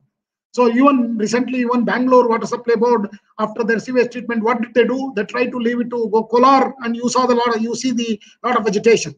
So the wastewater recycling is a good phenomena, but may be used for industrial purposes, not for domestic consumption, not for even agriculture consumption, because even farmers doesn't want that water. Okay. And then then left it desalination. Take the ocean that uh, take the salt water from the ocean, clean it up, basically desalinate, and highly uh, concentrated salt brine will 50% will go back into the ocean. Another 50% uh, is the fresh water which you get. But this is utter foolishness to do in India. But unfortunately, we are doing it. Most of the coastal cities are doing it, but it is utter foolishness because you are allowing 82% of the fresh water flowing into the ocean and take the same water and clean it with a high energy intensive desalination plants. I think this is really a foolishness. This is not a technology for India. This technology is maybe good for Israel, where average rainfall is less than 90 millimeter, or which may be good for Saudi Arabia, where is something like 150 millimeter. We are getting 1000 millimeter and above, and this is not the solution for us. So, what is the next solution? This is where I bring in coastal reservoirs and then I think from here onwards, I'll go very quickly. So see what do I mean by coastal reservoir? This picture is basically shows the water cycle. You see, earlier, you know, in the civilizations, we used to simply go uh, live along the rivers and uh, the villages were there, you know, and then we started building dams in the middle course. And then now we, our dams have to shift downstream and go into the ocean or close to the ocean or close to the coast. Luckily, that is where people are also concentrated. A lot of people, a lot of large cities, mega cities are located there. So, in that context also, but only one problem would be there. If the people are living upstream, then, you know, how do you really pump it out? Because I, I think if you know, many of the large dams what we have constructed in Upper Krishna project and all those, you know, people are using lift irrigation there also. That means lifting water by almost 30, 40 meters. Even city of Bangalore getting water from Kaveri River by almost like, uh, uh, you know, the elevation difference is close to 300 meters. But what is the beauty about this is this area can store large quantity of water, at least 20 times more than the demand, even considering the population, you know, growing to about 10 billion uh, in another maybe 50 to 100 years. So the first generation coastal reservoirs are, were built actually in Singapore and many other countries by blocking the river mouth. This may be good technology for countries like Singapore, where they can control the flow, quality of flow into the river. Because see, you have all the urban and villages and all across the river, and which will bring a dirty water. And if you close that, then you are basically collecting dirty water. This is what we call first generation coastal reservoir or no, no. But they have done this and then showed. That's why I said in engineering, we can show some technologies not properly used or doesn't work. That is where they left it. It is like, you know, now electric vehicles are coming back after 100 years. So if you know, Germany started very early, but the mafia of the petrol and diesel actually killed the electric vehicles. Now, after 100 years, it's coming back. So, the second generation coastal reservoir is basically your reservoir will be just off the river course. So, the dirty water or a clean water will go on the side through this so that you know all the continuous flow will be there you can also uh, fishermen also can go up fishes can go up all you know living uh, animals in water can also continuously function like normal like earlier.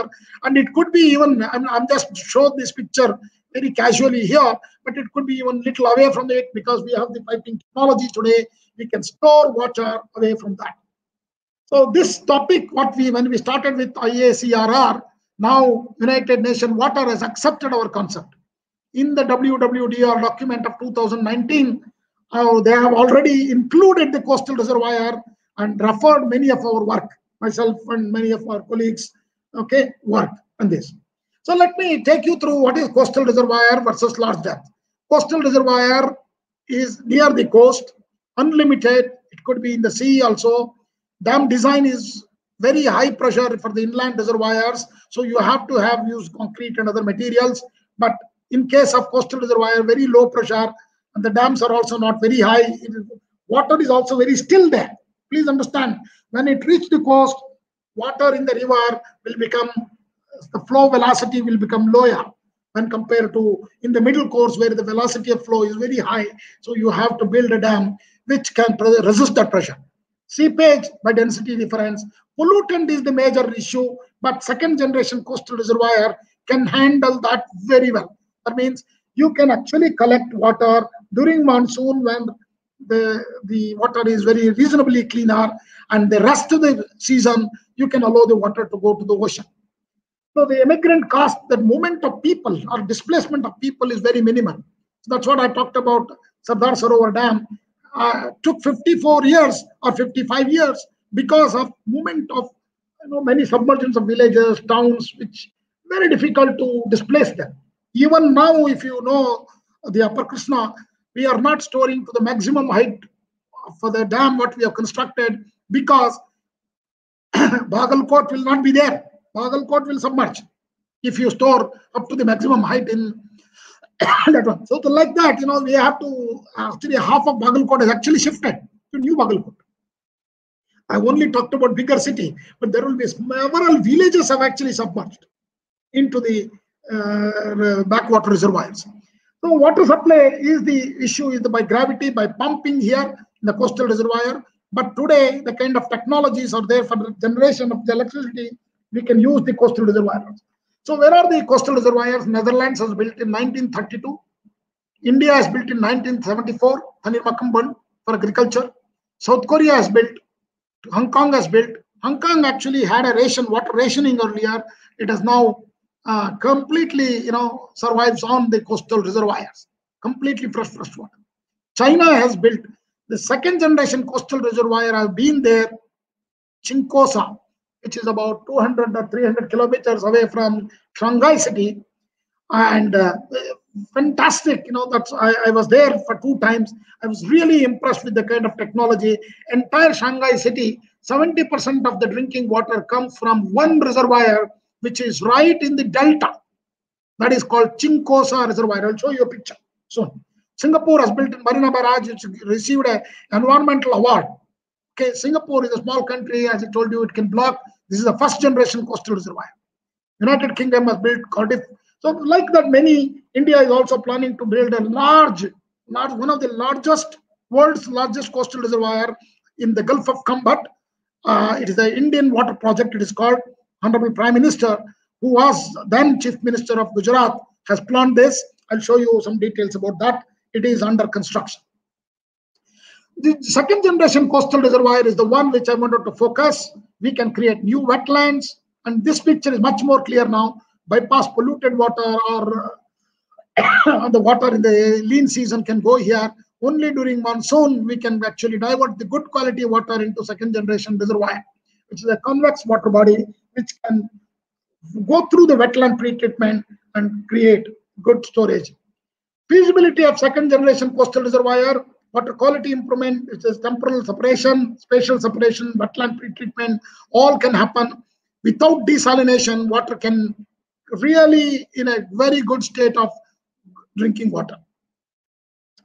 Sustainability, generally there is no negative in the second generation coastal reservoir, negative impact found from existing coastal reservoirs renewable. It cannot be silted also. Why? Because the siltation will actually can go in the bypass. Okay. So the coastal reservoir technology, we use a lot of soft dam technology, which uh, what geotechnical engineers are coming with uh, geobags and all those things. You know, they can construct very, very effectively today. Construction technology is also simpler. Significantly to reduce the construction cost for barriers and gates. So coastal reservoir is a selection of best catchment and best water quality because the entire catchment of the river is available at the top. So I'll just give you an example of when you're taking a bath. If you want to catch water, whatever you're taking a bath at the head, you get nothing. When you're in the middle of the body, you can get maybe half of that. But when you collect at the toe, maybe even though dirty, okay? So it is almost like your rainwater harvesting. You know what the concept they say 10 minutes you run through your you know taking your bath dirty uh, water will go away. After that there everything is a fresh water. You can collect it back actually. This is a similar concept for the coastal reservoir ladies and gentlemen. Consequently water quality is comparable with inland dams. No first flush and environmental impacts are minimum. No river flow reduction no cost to relocate people and many. This is the shanghai's experience. Shanghai's water body is the right side picture which shows and which goes through a wetland. New wetland has been created, and two years they have constructed the entire reservoir. Okay, only two years. 2008, Qingcaosha Reservoir started its construction. 2000 started pumping fresh water from the sea without desalination, clear water right in the middle of the ocean. That means on either side there is an ocean, ladies and gentlemen. So look at it. This is the coastal reservoir. And there is an underground tunnel which is created to the Shanghai city and which supplies the drinking water. Coastal reservoirs in the world, North Korea, Marina Barrage in Singapore. You know, Singapore, very people, very few people might have seen this. Many of you walked around it without knowing that is a coastal reservoir. So advantage of coastal reservoir, no harm to the river basin or alteration to the river course, no disturbance to the forest cover or submergence of the land, no physical displacement of the people. Agriculture activity also in the coastal region can be augmented because there is a quite a quite a bit of land which is affected by the coastal erosion can be minimized. Groundwater recharge, intrusion of saline water into wells will reduce. Freshwater dredging can happen, and many many advantages. So the other one, as I told you, what energy is required for you to pump even 100 kilometers upstream. Luckily, you can because the depth of water in these coastal reservoirs is so small, we can store entire area can be generated to use generate solar energy, tidal energy. Okay, so using the solar and tidal and wind energy, you can generate large power, large quantity of power, which can be used to even pump water. What we are doing even in inland dams. See, if you go to North Karnataka, you will see large kind of pumping, pump uh, lift irrigation schemes from the canals of uh, Upper Krishna, left bank or right bank canal are being done. So it is not a new thing, ladies and gentlemen. So we can do that here also, getting into almost close to 100 kilometers. So that means entire coastal Karnataka could be benefited. Roadways over the seawall. So you can also use the roadways. I'll show you some pictures. We'll definitely see that. Freshwater fishing, navigation, and tourism will generate real estate opportunities. And as I told you, new land will be formed. If you see the uh, the Netherlands coastal reservoir, you will definitely appreciate that because it was built in 1932. How the new city was born and it also can serve as a deep water fishing harbor, increase in industrial activity. So let me take you through one of the case study. I'll not today, I don't have time to show you all the case studies. I have all of the case studies. You can look at even our book. We brought out a new book on coastal reservoir in Elsevier. So just Google coastal reservoir and myself is the first author and six other authors are there across the world who are going to, who have written different case studies across the world. So this Kalpasar project of Honorable Prime Minister Modi's location is Gulf of Khambhat, right here, the location. Okay. So this the vision is to have a contour canal from this reservoir, from this reservoir. This is called Kalpasar Dam. See, uh, this is connecting almost Bhavnagar to Dahej. Okay. So it is actually south, uh, the north of Dharma, Narmada River. so there, there could be a little plan change for this also. So envisages a building. You see, this will actually reduce the distance between Bharuch to Bhavnagar almost 400 kilometers. Otherwise, now we have to go all the way like this but now we can directly cut across and reach. So it, there are many advantages. It's, it's going to be a largest freshwater reservoir for irrigation, drinking, and industrial purpose. For you want to know, simply type Kalpasar in Google. You will see the entire project, and there is a geotechnical investigation is going on now for the project. So small changes could be done for this to because we don't require such a large water body. So some of our friends, you know, both from Australia and they were, were working like this. So keep the tidal basin on the Bhavnagar side, but still the build and cover the uh, Narmada river also, so that the water from Narmada, because these Dada and Mahisagar rivers are all very small rivers when compared to Narmada. Even though we have built Sardar Sarovar, still there will be a lot of water in the monsoon, which can be taken. So the grass storage is still very 16 billion cubic meters, 16 billion cubic meter, 64 long kilometer long dam across the Gulf of Khambhat, but not too high. It is hardly about 20 meters. 10 lone road can be built on that. So my concept is I even actually applied for a patent on this Sarovar Mala. I said, you know, you have the coastal reservoirs on the coast, and this is anyway zero mean sea level. There is nothing to cut, nothing to excavate. So instead of connecting Ganga to Kaveri through the midst of the uh, country where you're creating a lot of damage to the villages and towns, here it could be buried pipelines below. Connect. So today there may be a day, maybe 200 years down the road, there may be a day where Ganga can be connected to uh, the rivers like Netravati and other things through the coast. Okay, so this is a concept which is very very simple on a paper. Okay, so let me conclude.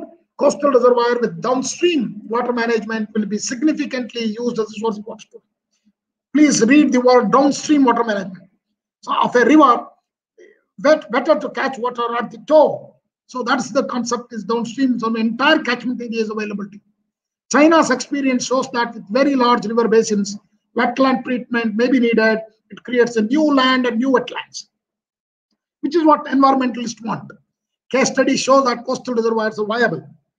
Second generation coastal reservoir is cost effective, environmental friendly, socially acceptable, and has high quality water. Ladies and gentlemen, India is not running out of water, but water is running out of India. So please tell somebody who comes to sell you desalination plants that's not a requirement because that's utter foolishness. You leave the water which is going through the same land to the ocean and collect it back and clean it with a very high energy intensive technology. So instead of that, store that water somewhere in the near the coast through the coastal reservoir. Desalination is expensive and environmentally not sustainable for India. I'm not saying this is for uh, Israel. Cost of coastal reservoir versus alternative water diversion schemes is much lower. Engagement with community, government agencies, and other stakeholders is a key aspect addressing because a lot of awareness has to be brought in. Uh, please, uh, no, kindly mute here. I am concluding now. So this International Association for Coastal Reservoir Research was inaugurated in Kuala Lumpur. I was the first president, founder president of this. So you can see uh, all our friends from across the world assembled there. Even Dr. Parsarthi, my friend, good friend from Bangalore, is also here. Okay, you please, if you are interested, look at iacrr.org. What is interesting, I will highlight it. Once we started in 2017, the past president of International Association of Hydro Environmental Research is my vice president. Past president of International Water Association, Professor Glen Daigger from uh, Minnesota, he is my vice president. Okay, past president of IWRA, International Water Resources Association, China, is my vice president. Professor Zia Sun. Professor Hubert Savenije, past president of International Association of Hydrological Research. Okay, uh, Hydrological Sciences uh, from Netherlands is also the vice president. That means you can see why all these top presidents of the top-notch institutions which are 100 year old have come to coastal reservoir research is because they strongly believe that IACRR can provide an alternative. So this is my team. So you can see many Indian faces because I was there. So these are some of the books of, of mine. I will not go through that. So some of you are interested in earthquake hazard assessment, you can look at it in Springer. And we are organizing the first IACRR conference, which was actually postponed this year to next year. They are holding it 9th to 12th November 2022 uh, in uh, Shanghai, sorry, in Nanjing, know, which is very close to the coastal reservoir of uh, Qingcaosha reservoir. So you will also get the chance to see Qingcaosha. If you know COVID pandemic allows us, we are going to do uh, offline conference uh, during November 2022. Ladies and gentlemen, thank you very much. I've taken exactly the time allotted to me. Uh, last message is store water and save future. Thank you. Namaskar. Thank you so much, sir. That was an excellent session with excellent uh, information shared with us. Thanks for sharing all the knowledge. And I, I, I was really impressed about the team you have with you. Thank you so much. So now we are open for questions, and uh, the QA session would be handled by our panelists, uh, Professor Chandan Ghosh and uh, uh Dr. S.K. Prasad. Uh, I, am sure participants have a lot of questions to ask, and uh, I, am sure Professor T.G. Sitharam will answer every question of yours. So before I hand over this session to both the professors, I would like to just inform all the participants that a feedback link has been shared with you. You can check on your chat box. Uh, you can uh, uh, you know, submit your feedback using that link. And another reminder to you, all your e-certificates will be received only if you have registered on NIDM portal. So please ensure that you have registered on their portal. So these are two reminders for our dear participants. Now I would like to hand it over to Professor Chandan and Dr. S.K. Prasad. Over to you for QA sessions. Thank you. Thank you, Professor Rupapriya. Uh, yeah, Professor Sitharam, as usual, it was a wonderful session. And in fact, you know, we civil engineers, most of us lack this concept of coastal reservoir. So there have been a few questions, uh, you know, mainly because of, uh, I would say, lack of ignorance. And uh, yeah, before I have listed a few of them. Before that, if Professor Chandan Ghosh would like to say something, I'll be very happy.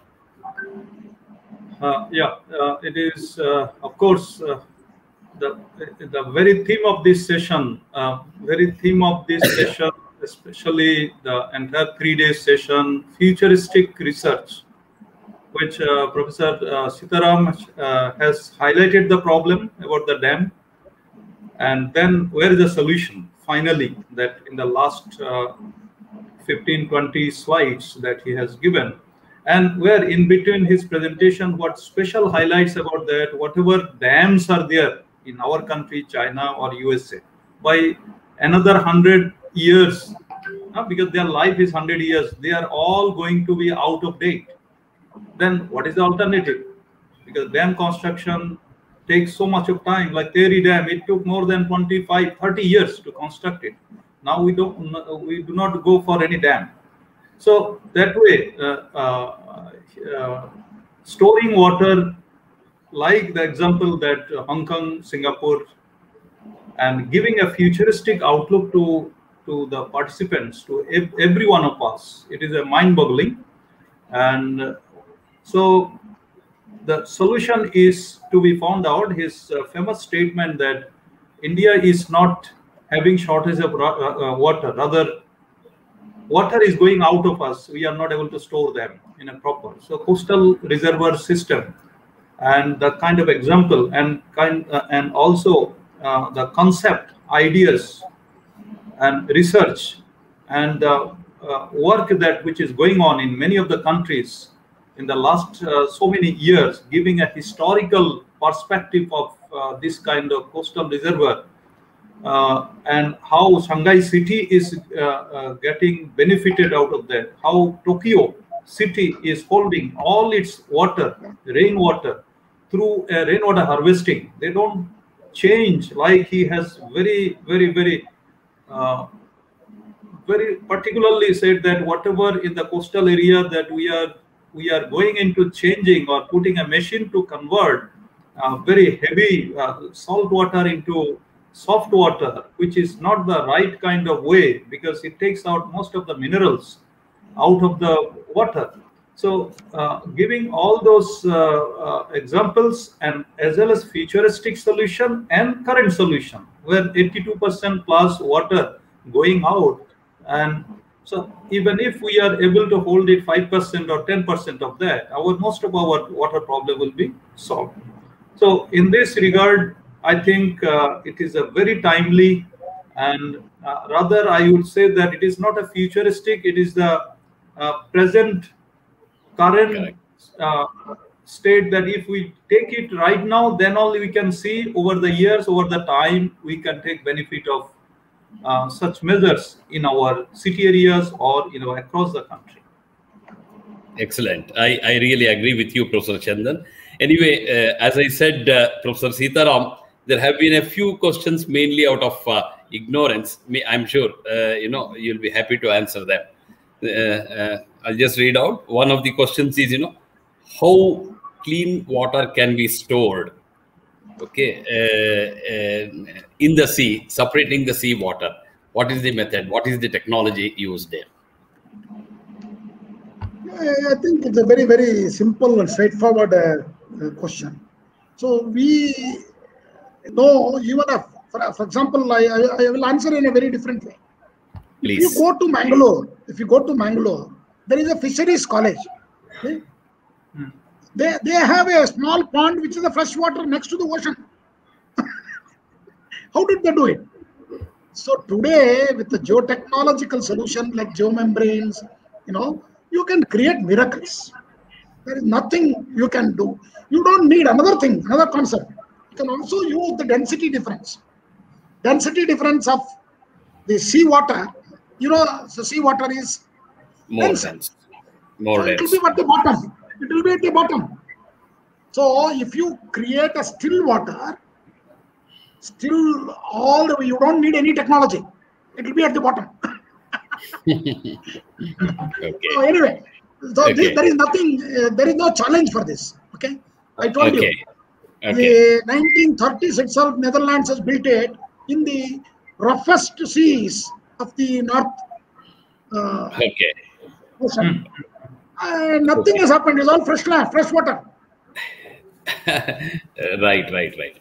Uh, yeah, another uh, question is, you know, you talked talked about Shanghai Qingcaosha, uh, you know, um, uh, plant. So all these uh, uh, will be at the sea level or much lower.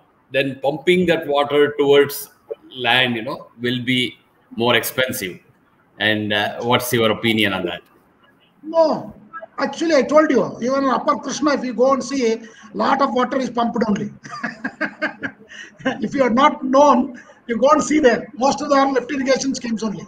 Okay. Okay. And okay. uh, anyway, but as I told you, I've also given you, you can generate solar, wind, because my water depth in the coastal reservoir is so small, you can generate so free energy and non-conventional energy, okay, which doesn't any cost anything because nature, solar. So you can definitely, when you have large amount of power, today, you know, so solar rooftop is 1.8 rupees. Same thing if you take it from a water dam, it is 8 rupees per unit. So I think uh, the days are not very far where we'll be using majority of power from solar and wind and uh, also through the wave. Automatically, the cost will be very, very cheap. And actually, it is not a cost actually. You like to use that energy, what you generate. Because energy is again another problem. Then If you see the analogy, what I gave you today, water, storage is a problem. Same thing for energy also. Storage is a problem. So there is a fantastic analogy between water and energy. Thank you. Thank you very much. Yeah. And uh, you talked about large dams and you talked about, you know, uh, their capacity, how long they're going to stay. So naturally, there was a uh, concern shown by uh, participants. So one of the participants asked, what is the situation of Linganamakki Dam across Sharavati? Any dam. Why you go to Linganamakki? Go to Mysore only. KR Sagar Dam is leaking. If you have gone there, KR Sagar Dam, what uh, our uh, suddenly built it, is already leaking profusely. So if you repair, yes, our large, uh, the, there is a national program on repairing dams. Okay, Uh, and if you repair, it is like putting a stent in your heart. You know, you, you might survive one more, uh, you know, ten more years.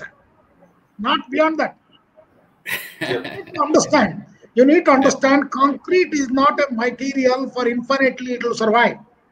Best is the earth dams. See, if you some of you for civil engineers who are there at the site, if you want to see a dam which survived 2000 years, please go to Trichy. 10 kilometers from Trichy, there is called Kallanani Anicut. Kallanani Anicut. Anicut is a dam. Okay? Hmm. Even today, which is existing, what Raja Raja Chola built it. Raja Raja Chola in 2000 years back.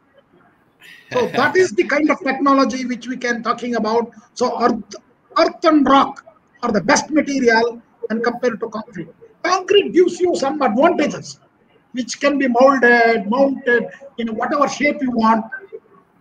But there are materials which are much better for survival and sustainability for a longer period. Thank you. Thank you. Uh, yeah, one very general question. Uh, how can you reduce disaster, protect earth, and get back green earth for uh, you know healthy living? So simple, you know, construct coastal reservoir. If a dam breaks, okay. For example, uh, I think Chandan Ghosh will tell you if Bhakra Nangal breaks tomorrow, how many downstream towns, villages will be submerged? Can you imagine? But if a dam, including Delhi. Uh, I don't know, if a dam, what I talked about, Kalpasar breaks. If a dam Kalpasar breaks, Nothing. nothing will happen. Everything goes to ocean. Okay. true. But uh, same uh, Ka- this Krishna Sagara Dam, KRS Dam, God will, you know, let's not break. But if KRS Dam breaks, downstream of the many villages and towns are vanished forever. True, true. So uh, these were the main questions from the participants, and uh, maybe if uh, uh, again Professor Chandan Ghosh would like to throw some light or ask some questions, it will be nice. Uh, it is, uh, of course, not the questions. He has elaborately given all kinds of, all facets of having coastal reservoir and how to make it, how cheap it, how much cheaper it is, and in comparison to the large dam. So I think Yeah. it is worth uh, uh, going through uh, his presentation again, which is on record. Uh, and not only that, uh, some of the uh, queries that someone is saying that already it is answered. What can be the best substitute or solution uh, uh, for uh, of dams of a country like India, which is still developing country with huge population? These are generic questions, but it is already indicated by even answers as well as the presentation. And so then another uh, small uh, doubt is that uh, by Kanmani, uh, yeah, uh, it is someone, uh, Dayananda. Yeah, uh, does the coastal reserve concept concept affect the ocean ecosystem? That Does also the- answered. Chandan Okay. That, also answered. You see, even if you build another three, 6,000 dams, you can only store Yeah. 5% more. 5% yeah. of the water what you are having. Okay? Yeah, So that means, you know, still 80% water will go into the ocean. So Into the- no change in the ecosystem of the ocean. There have been so many questions actually. Uh, very happy that clearly shows uh, Professor T.G. Sitharam has been flamboyant, very clear. Yeah, uh, uh, I will uh, just try to read out one more. Yeah, uh, sir, what is the role of check dams, usually constructed inland for controlling the controlling as well as storing flood water towards water demand and the groundwater recharge? So this is from engineer Avik Kumar Mandal. Yeah, yeah, it's good. Actually, this is a, which I didn't touch about. Um, there is a check dams, underground dams. Actually, we should go back to what our ancestor used to do: store water in our villages, towns.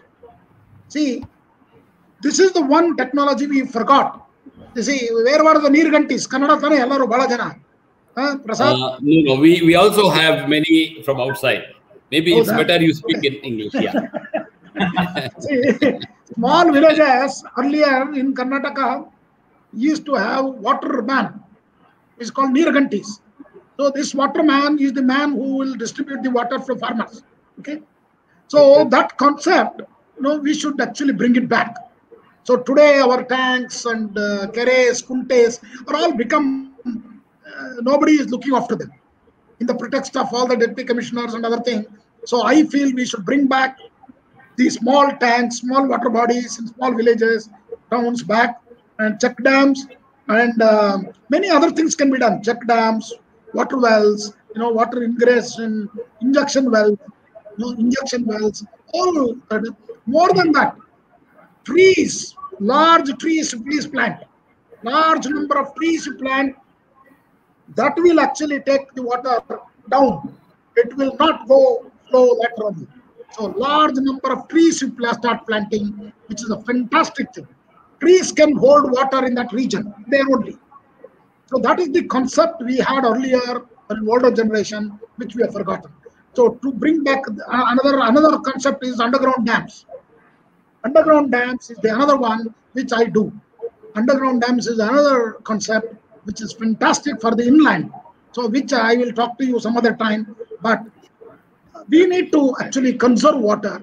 But when I talk about coastal reservoir, I'm talking about large quantity of water, not what you can store in check dams. Okay? Okay. Check dams are very small quantity. Okay? I'm talking about three times KRS dam storage. Okay. Can you can you imagine three times storage of KRS dam? And for example, uh, the Kalpasar, it will be the largest reservoir in the whole world. Excellent. Excellent. Thank sir. you. Okay. Yeah, yeah. Uh, I- uh, again, you know, same question, but uh, yeah, uh, maybe I would like you to answer again uh, from Professor Mangala Keshav. What are the materials suitable for construction of coastal reservoirs? You told about geobags. Maybe one more time, you know, you just explain what material is best. You, we, we don't need any material. We will use the wa- wa- ocean bottom, whatever sand is there. only we use the geobags are only technology. Please understand. Geobags Okay. are not the material. Material Okay. is sand. Material Okay. is sand. Okay. Okay? Okay. Sand and silt, we fill that with the geobag so that it will make a uh, like a concrete. It, it will be confined. Okay. Yes, exactly. Okay. Excellent. Excellent. So there have been many, many appreciations also. Uh, uh, what can maybe I'll just take one more. Diksha Modgil has asked, what can be the best substitutes or solution of dams for a country like India, which is still a developing country with huge population? You have already answered that. So Anyway, I I, I just want to tell you in inland check dams, injection wells, and uh, tanks, and small tanks, small, small is very beautiful.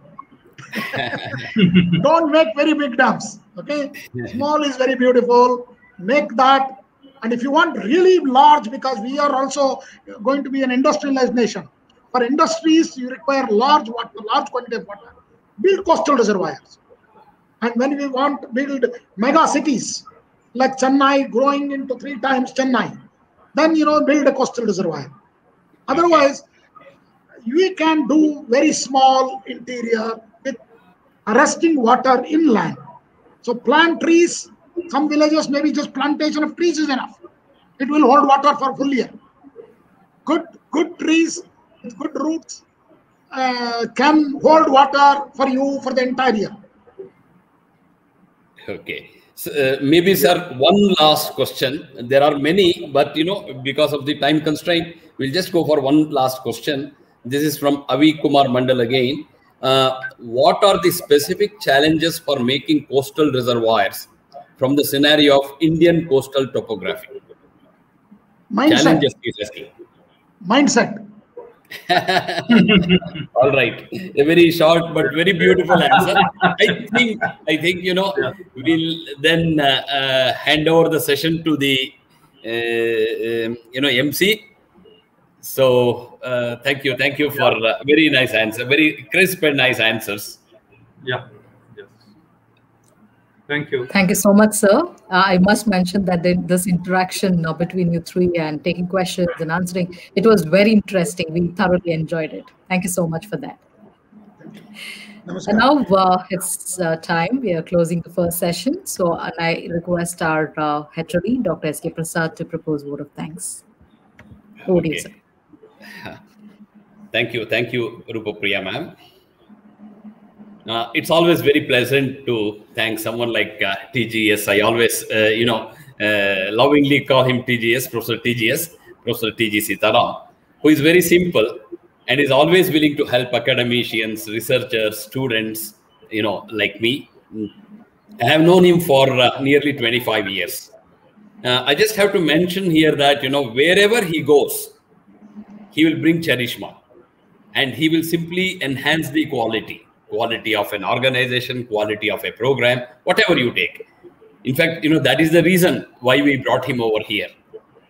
And uh, you know there are many many you know uh, things he has done. He has uh, you know developed geotechnical engineering division SIS2 at Institute of Science. And now you know he has been instrumental in taking IIT Guwahati to a great height so, in fact, you know, I feel very proud and happy about uh, many of his achievements. Just if I want to name a few, uh, you know, uh, a few very recent ones. You know, IIT Guwahati has been listed 41st in research globally by QS World Ranking, World University Ranking 2022, 2022, very recently. And, uh, um, you know, above this is Indian Institute of Science Bangalore. So they stand second in India. And IIT Guwahati has joined hands. No, no. Professor Prasad, you should Yeah. tell them three years Yeah. back they were nowhere.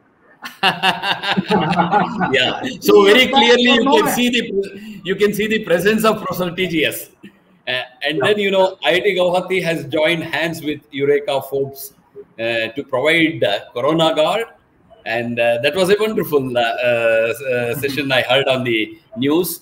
Then 22 professors from IIT Guwahati, including Professor TGS, are listed in the top 2% researchers by Stanford University. And then uh, Professor TGS is the advisor and foundation expert for the reconstruction of uh, Rama Janmabhoomi at Ayodhya. So just to name a few of them. Uh, as uh, as already you know, I mentioned, uh, IIT Guwahati has risen uh, during his less than two years uh, stay there. He will be completing two years very soon. So, sir, today also, as usual, you are very very flamboyant, crystal clear about your objectives, and some of uh, uh, your ideas, you know, uh, probably they will uh, become strong after five ten years. You will have the vision much much earlier, and uh, uh, you spoke about uh, coastal reservoir solution so well, and then you know how this can help this uh, our theme of disaster resilience.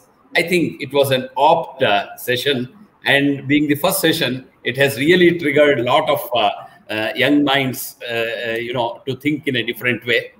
I sincerely thank you on behalf of uh, Vidyavardhaka College of I, I just want to say one fun, uh, last word in this session. Please, please, Uh, Sachin. You, uh, you have just mentioned that maybe five to 10 years it will take to bring the concept when mindset is to be changed anytime. Just now we can change the mindset. Not only that, the kind of revolution that we have brought in due to COVID, that nowhere in the history of development of the COVID vaccine that it has taken less than 20 years. But the scientific community has taken it on the platform January, or like India started in less than nine months. So, uh, uh, so the change that we have to bring in, uh, seeing that so much of even the Karnataka state itself is a northern part of that, which is also witness to so many farmers and so many things that we do, cricket matches that we have to bring in. So, lot of mind setting triggers that our people are facing every day, every moment. So, only thing is that we have to start right now. So, uh, so when we can develop a vaccine less than a one year time, and when we are planning now more than 70% of our population will population will be vaccinated within four months or five months, when we are thinking that majority of our vaccine can be exported in uh, into, uh, after meeting up our demands. So I think we can do wonder. Very Anything true. is Very, very true. I Anything is possible. Yeah. and, and, Anything is possible, I said. Yeah. and, and if uh, somebody like TGS can inspire, definitely things Yeah. can be possible. So once again, I sincerely thank you, Professor TGS, on behalf of myself, on behalf of our college, and on behalf of uh, NIDM. Okay. And then uh, Chandan, Professor Chandan, again, my sincere thanks to you also. You know, um, you have always been, uh, you know, thinking very practically, and your uh, intentions are to create awareness. And in this regard, you know, whatever uh, Professor TGS has done today, I think Yeah. we will be able to take it forward, and we look forward for you know many new things to happen. Uh, you know, under his guidance or the direction he has uh, set up. So I need to thank everybody here, thank all the participants, and uh, we'll have to close this session because uh, you know we have to go for the next session. So thanks one and all. Thanks to you know uh, my uh, all technical team. Thanks to uh, Professor Rupa Priya and everyone here. I'm going to uh, say thanks, and I feel very happy that it was a successful beginning. Therefore, you know we can go ahead. Thank you. Thank you. Thank you so much, sir. Rupa Thank Priya you. also for a very professional way of uh, dealing each and every uh, every part of this uh, session, including the inaugural Thank session. Thank you. Thank you, sir. Thank you. It's really nice to hear that from you. Okay, so it was a great start, sir, with this uh, first session and your involvement in it. So now, uh, yes, we'll officially close this first session and we'll get started with the second session. So, dear participants, now it's time for our second session. So, we will take five minutes break. A new link has been sent to all the participants to join for the second session. So we'll take uh, a quick five minutes break and then rejoin. Now at 6.25 sharp, we will rejoin at 6.30 p.m. Yeah. Thank, Thank you. you. Thank Thank Thanks you, to you Professor too. Thank you, Rupa Priya. Okay. Thank you.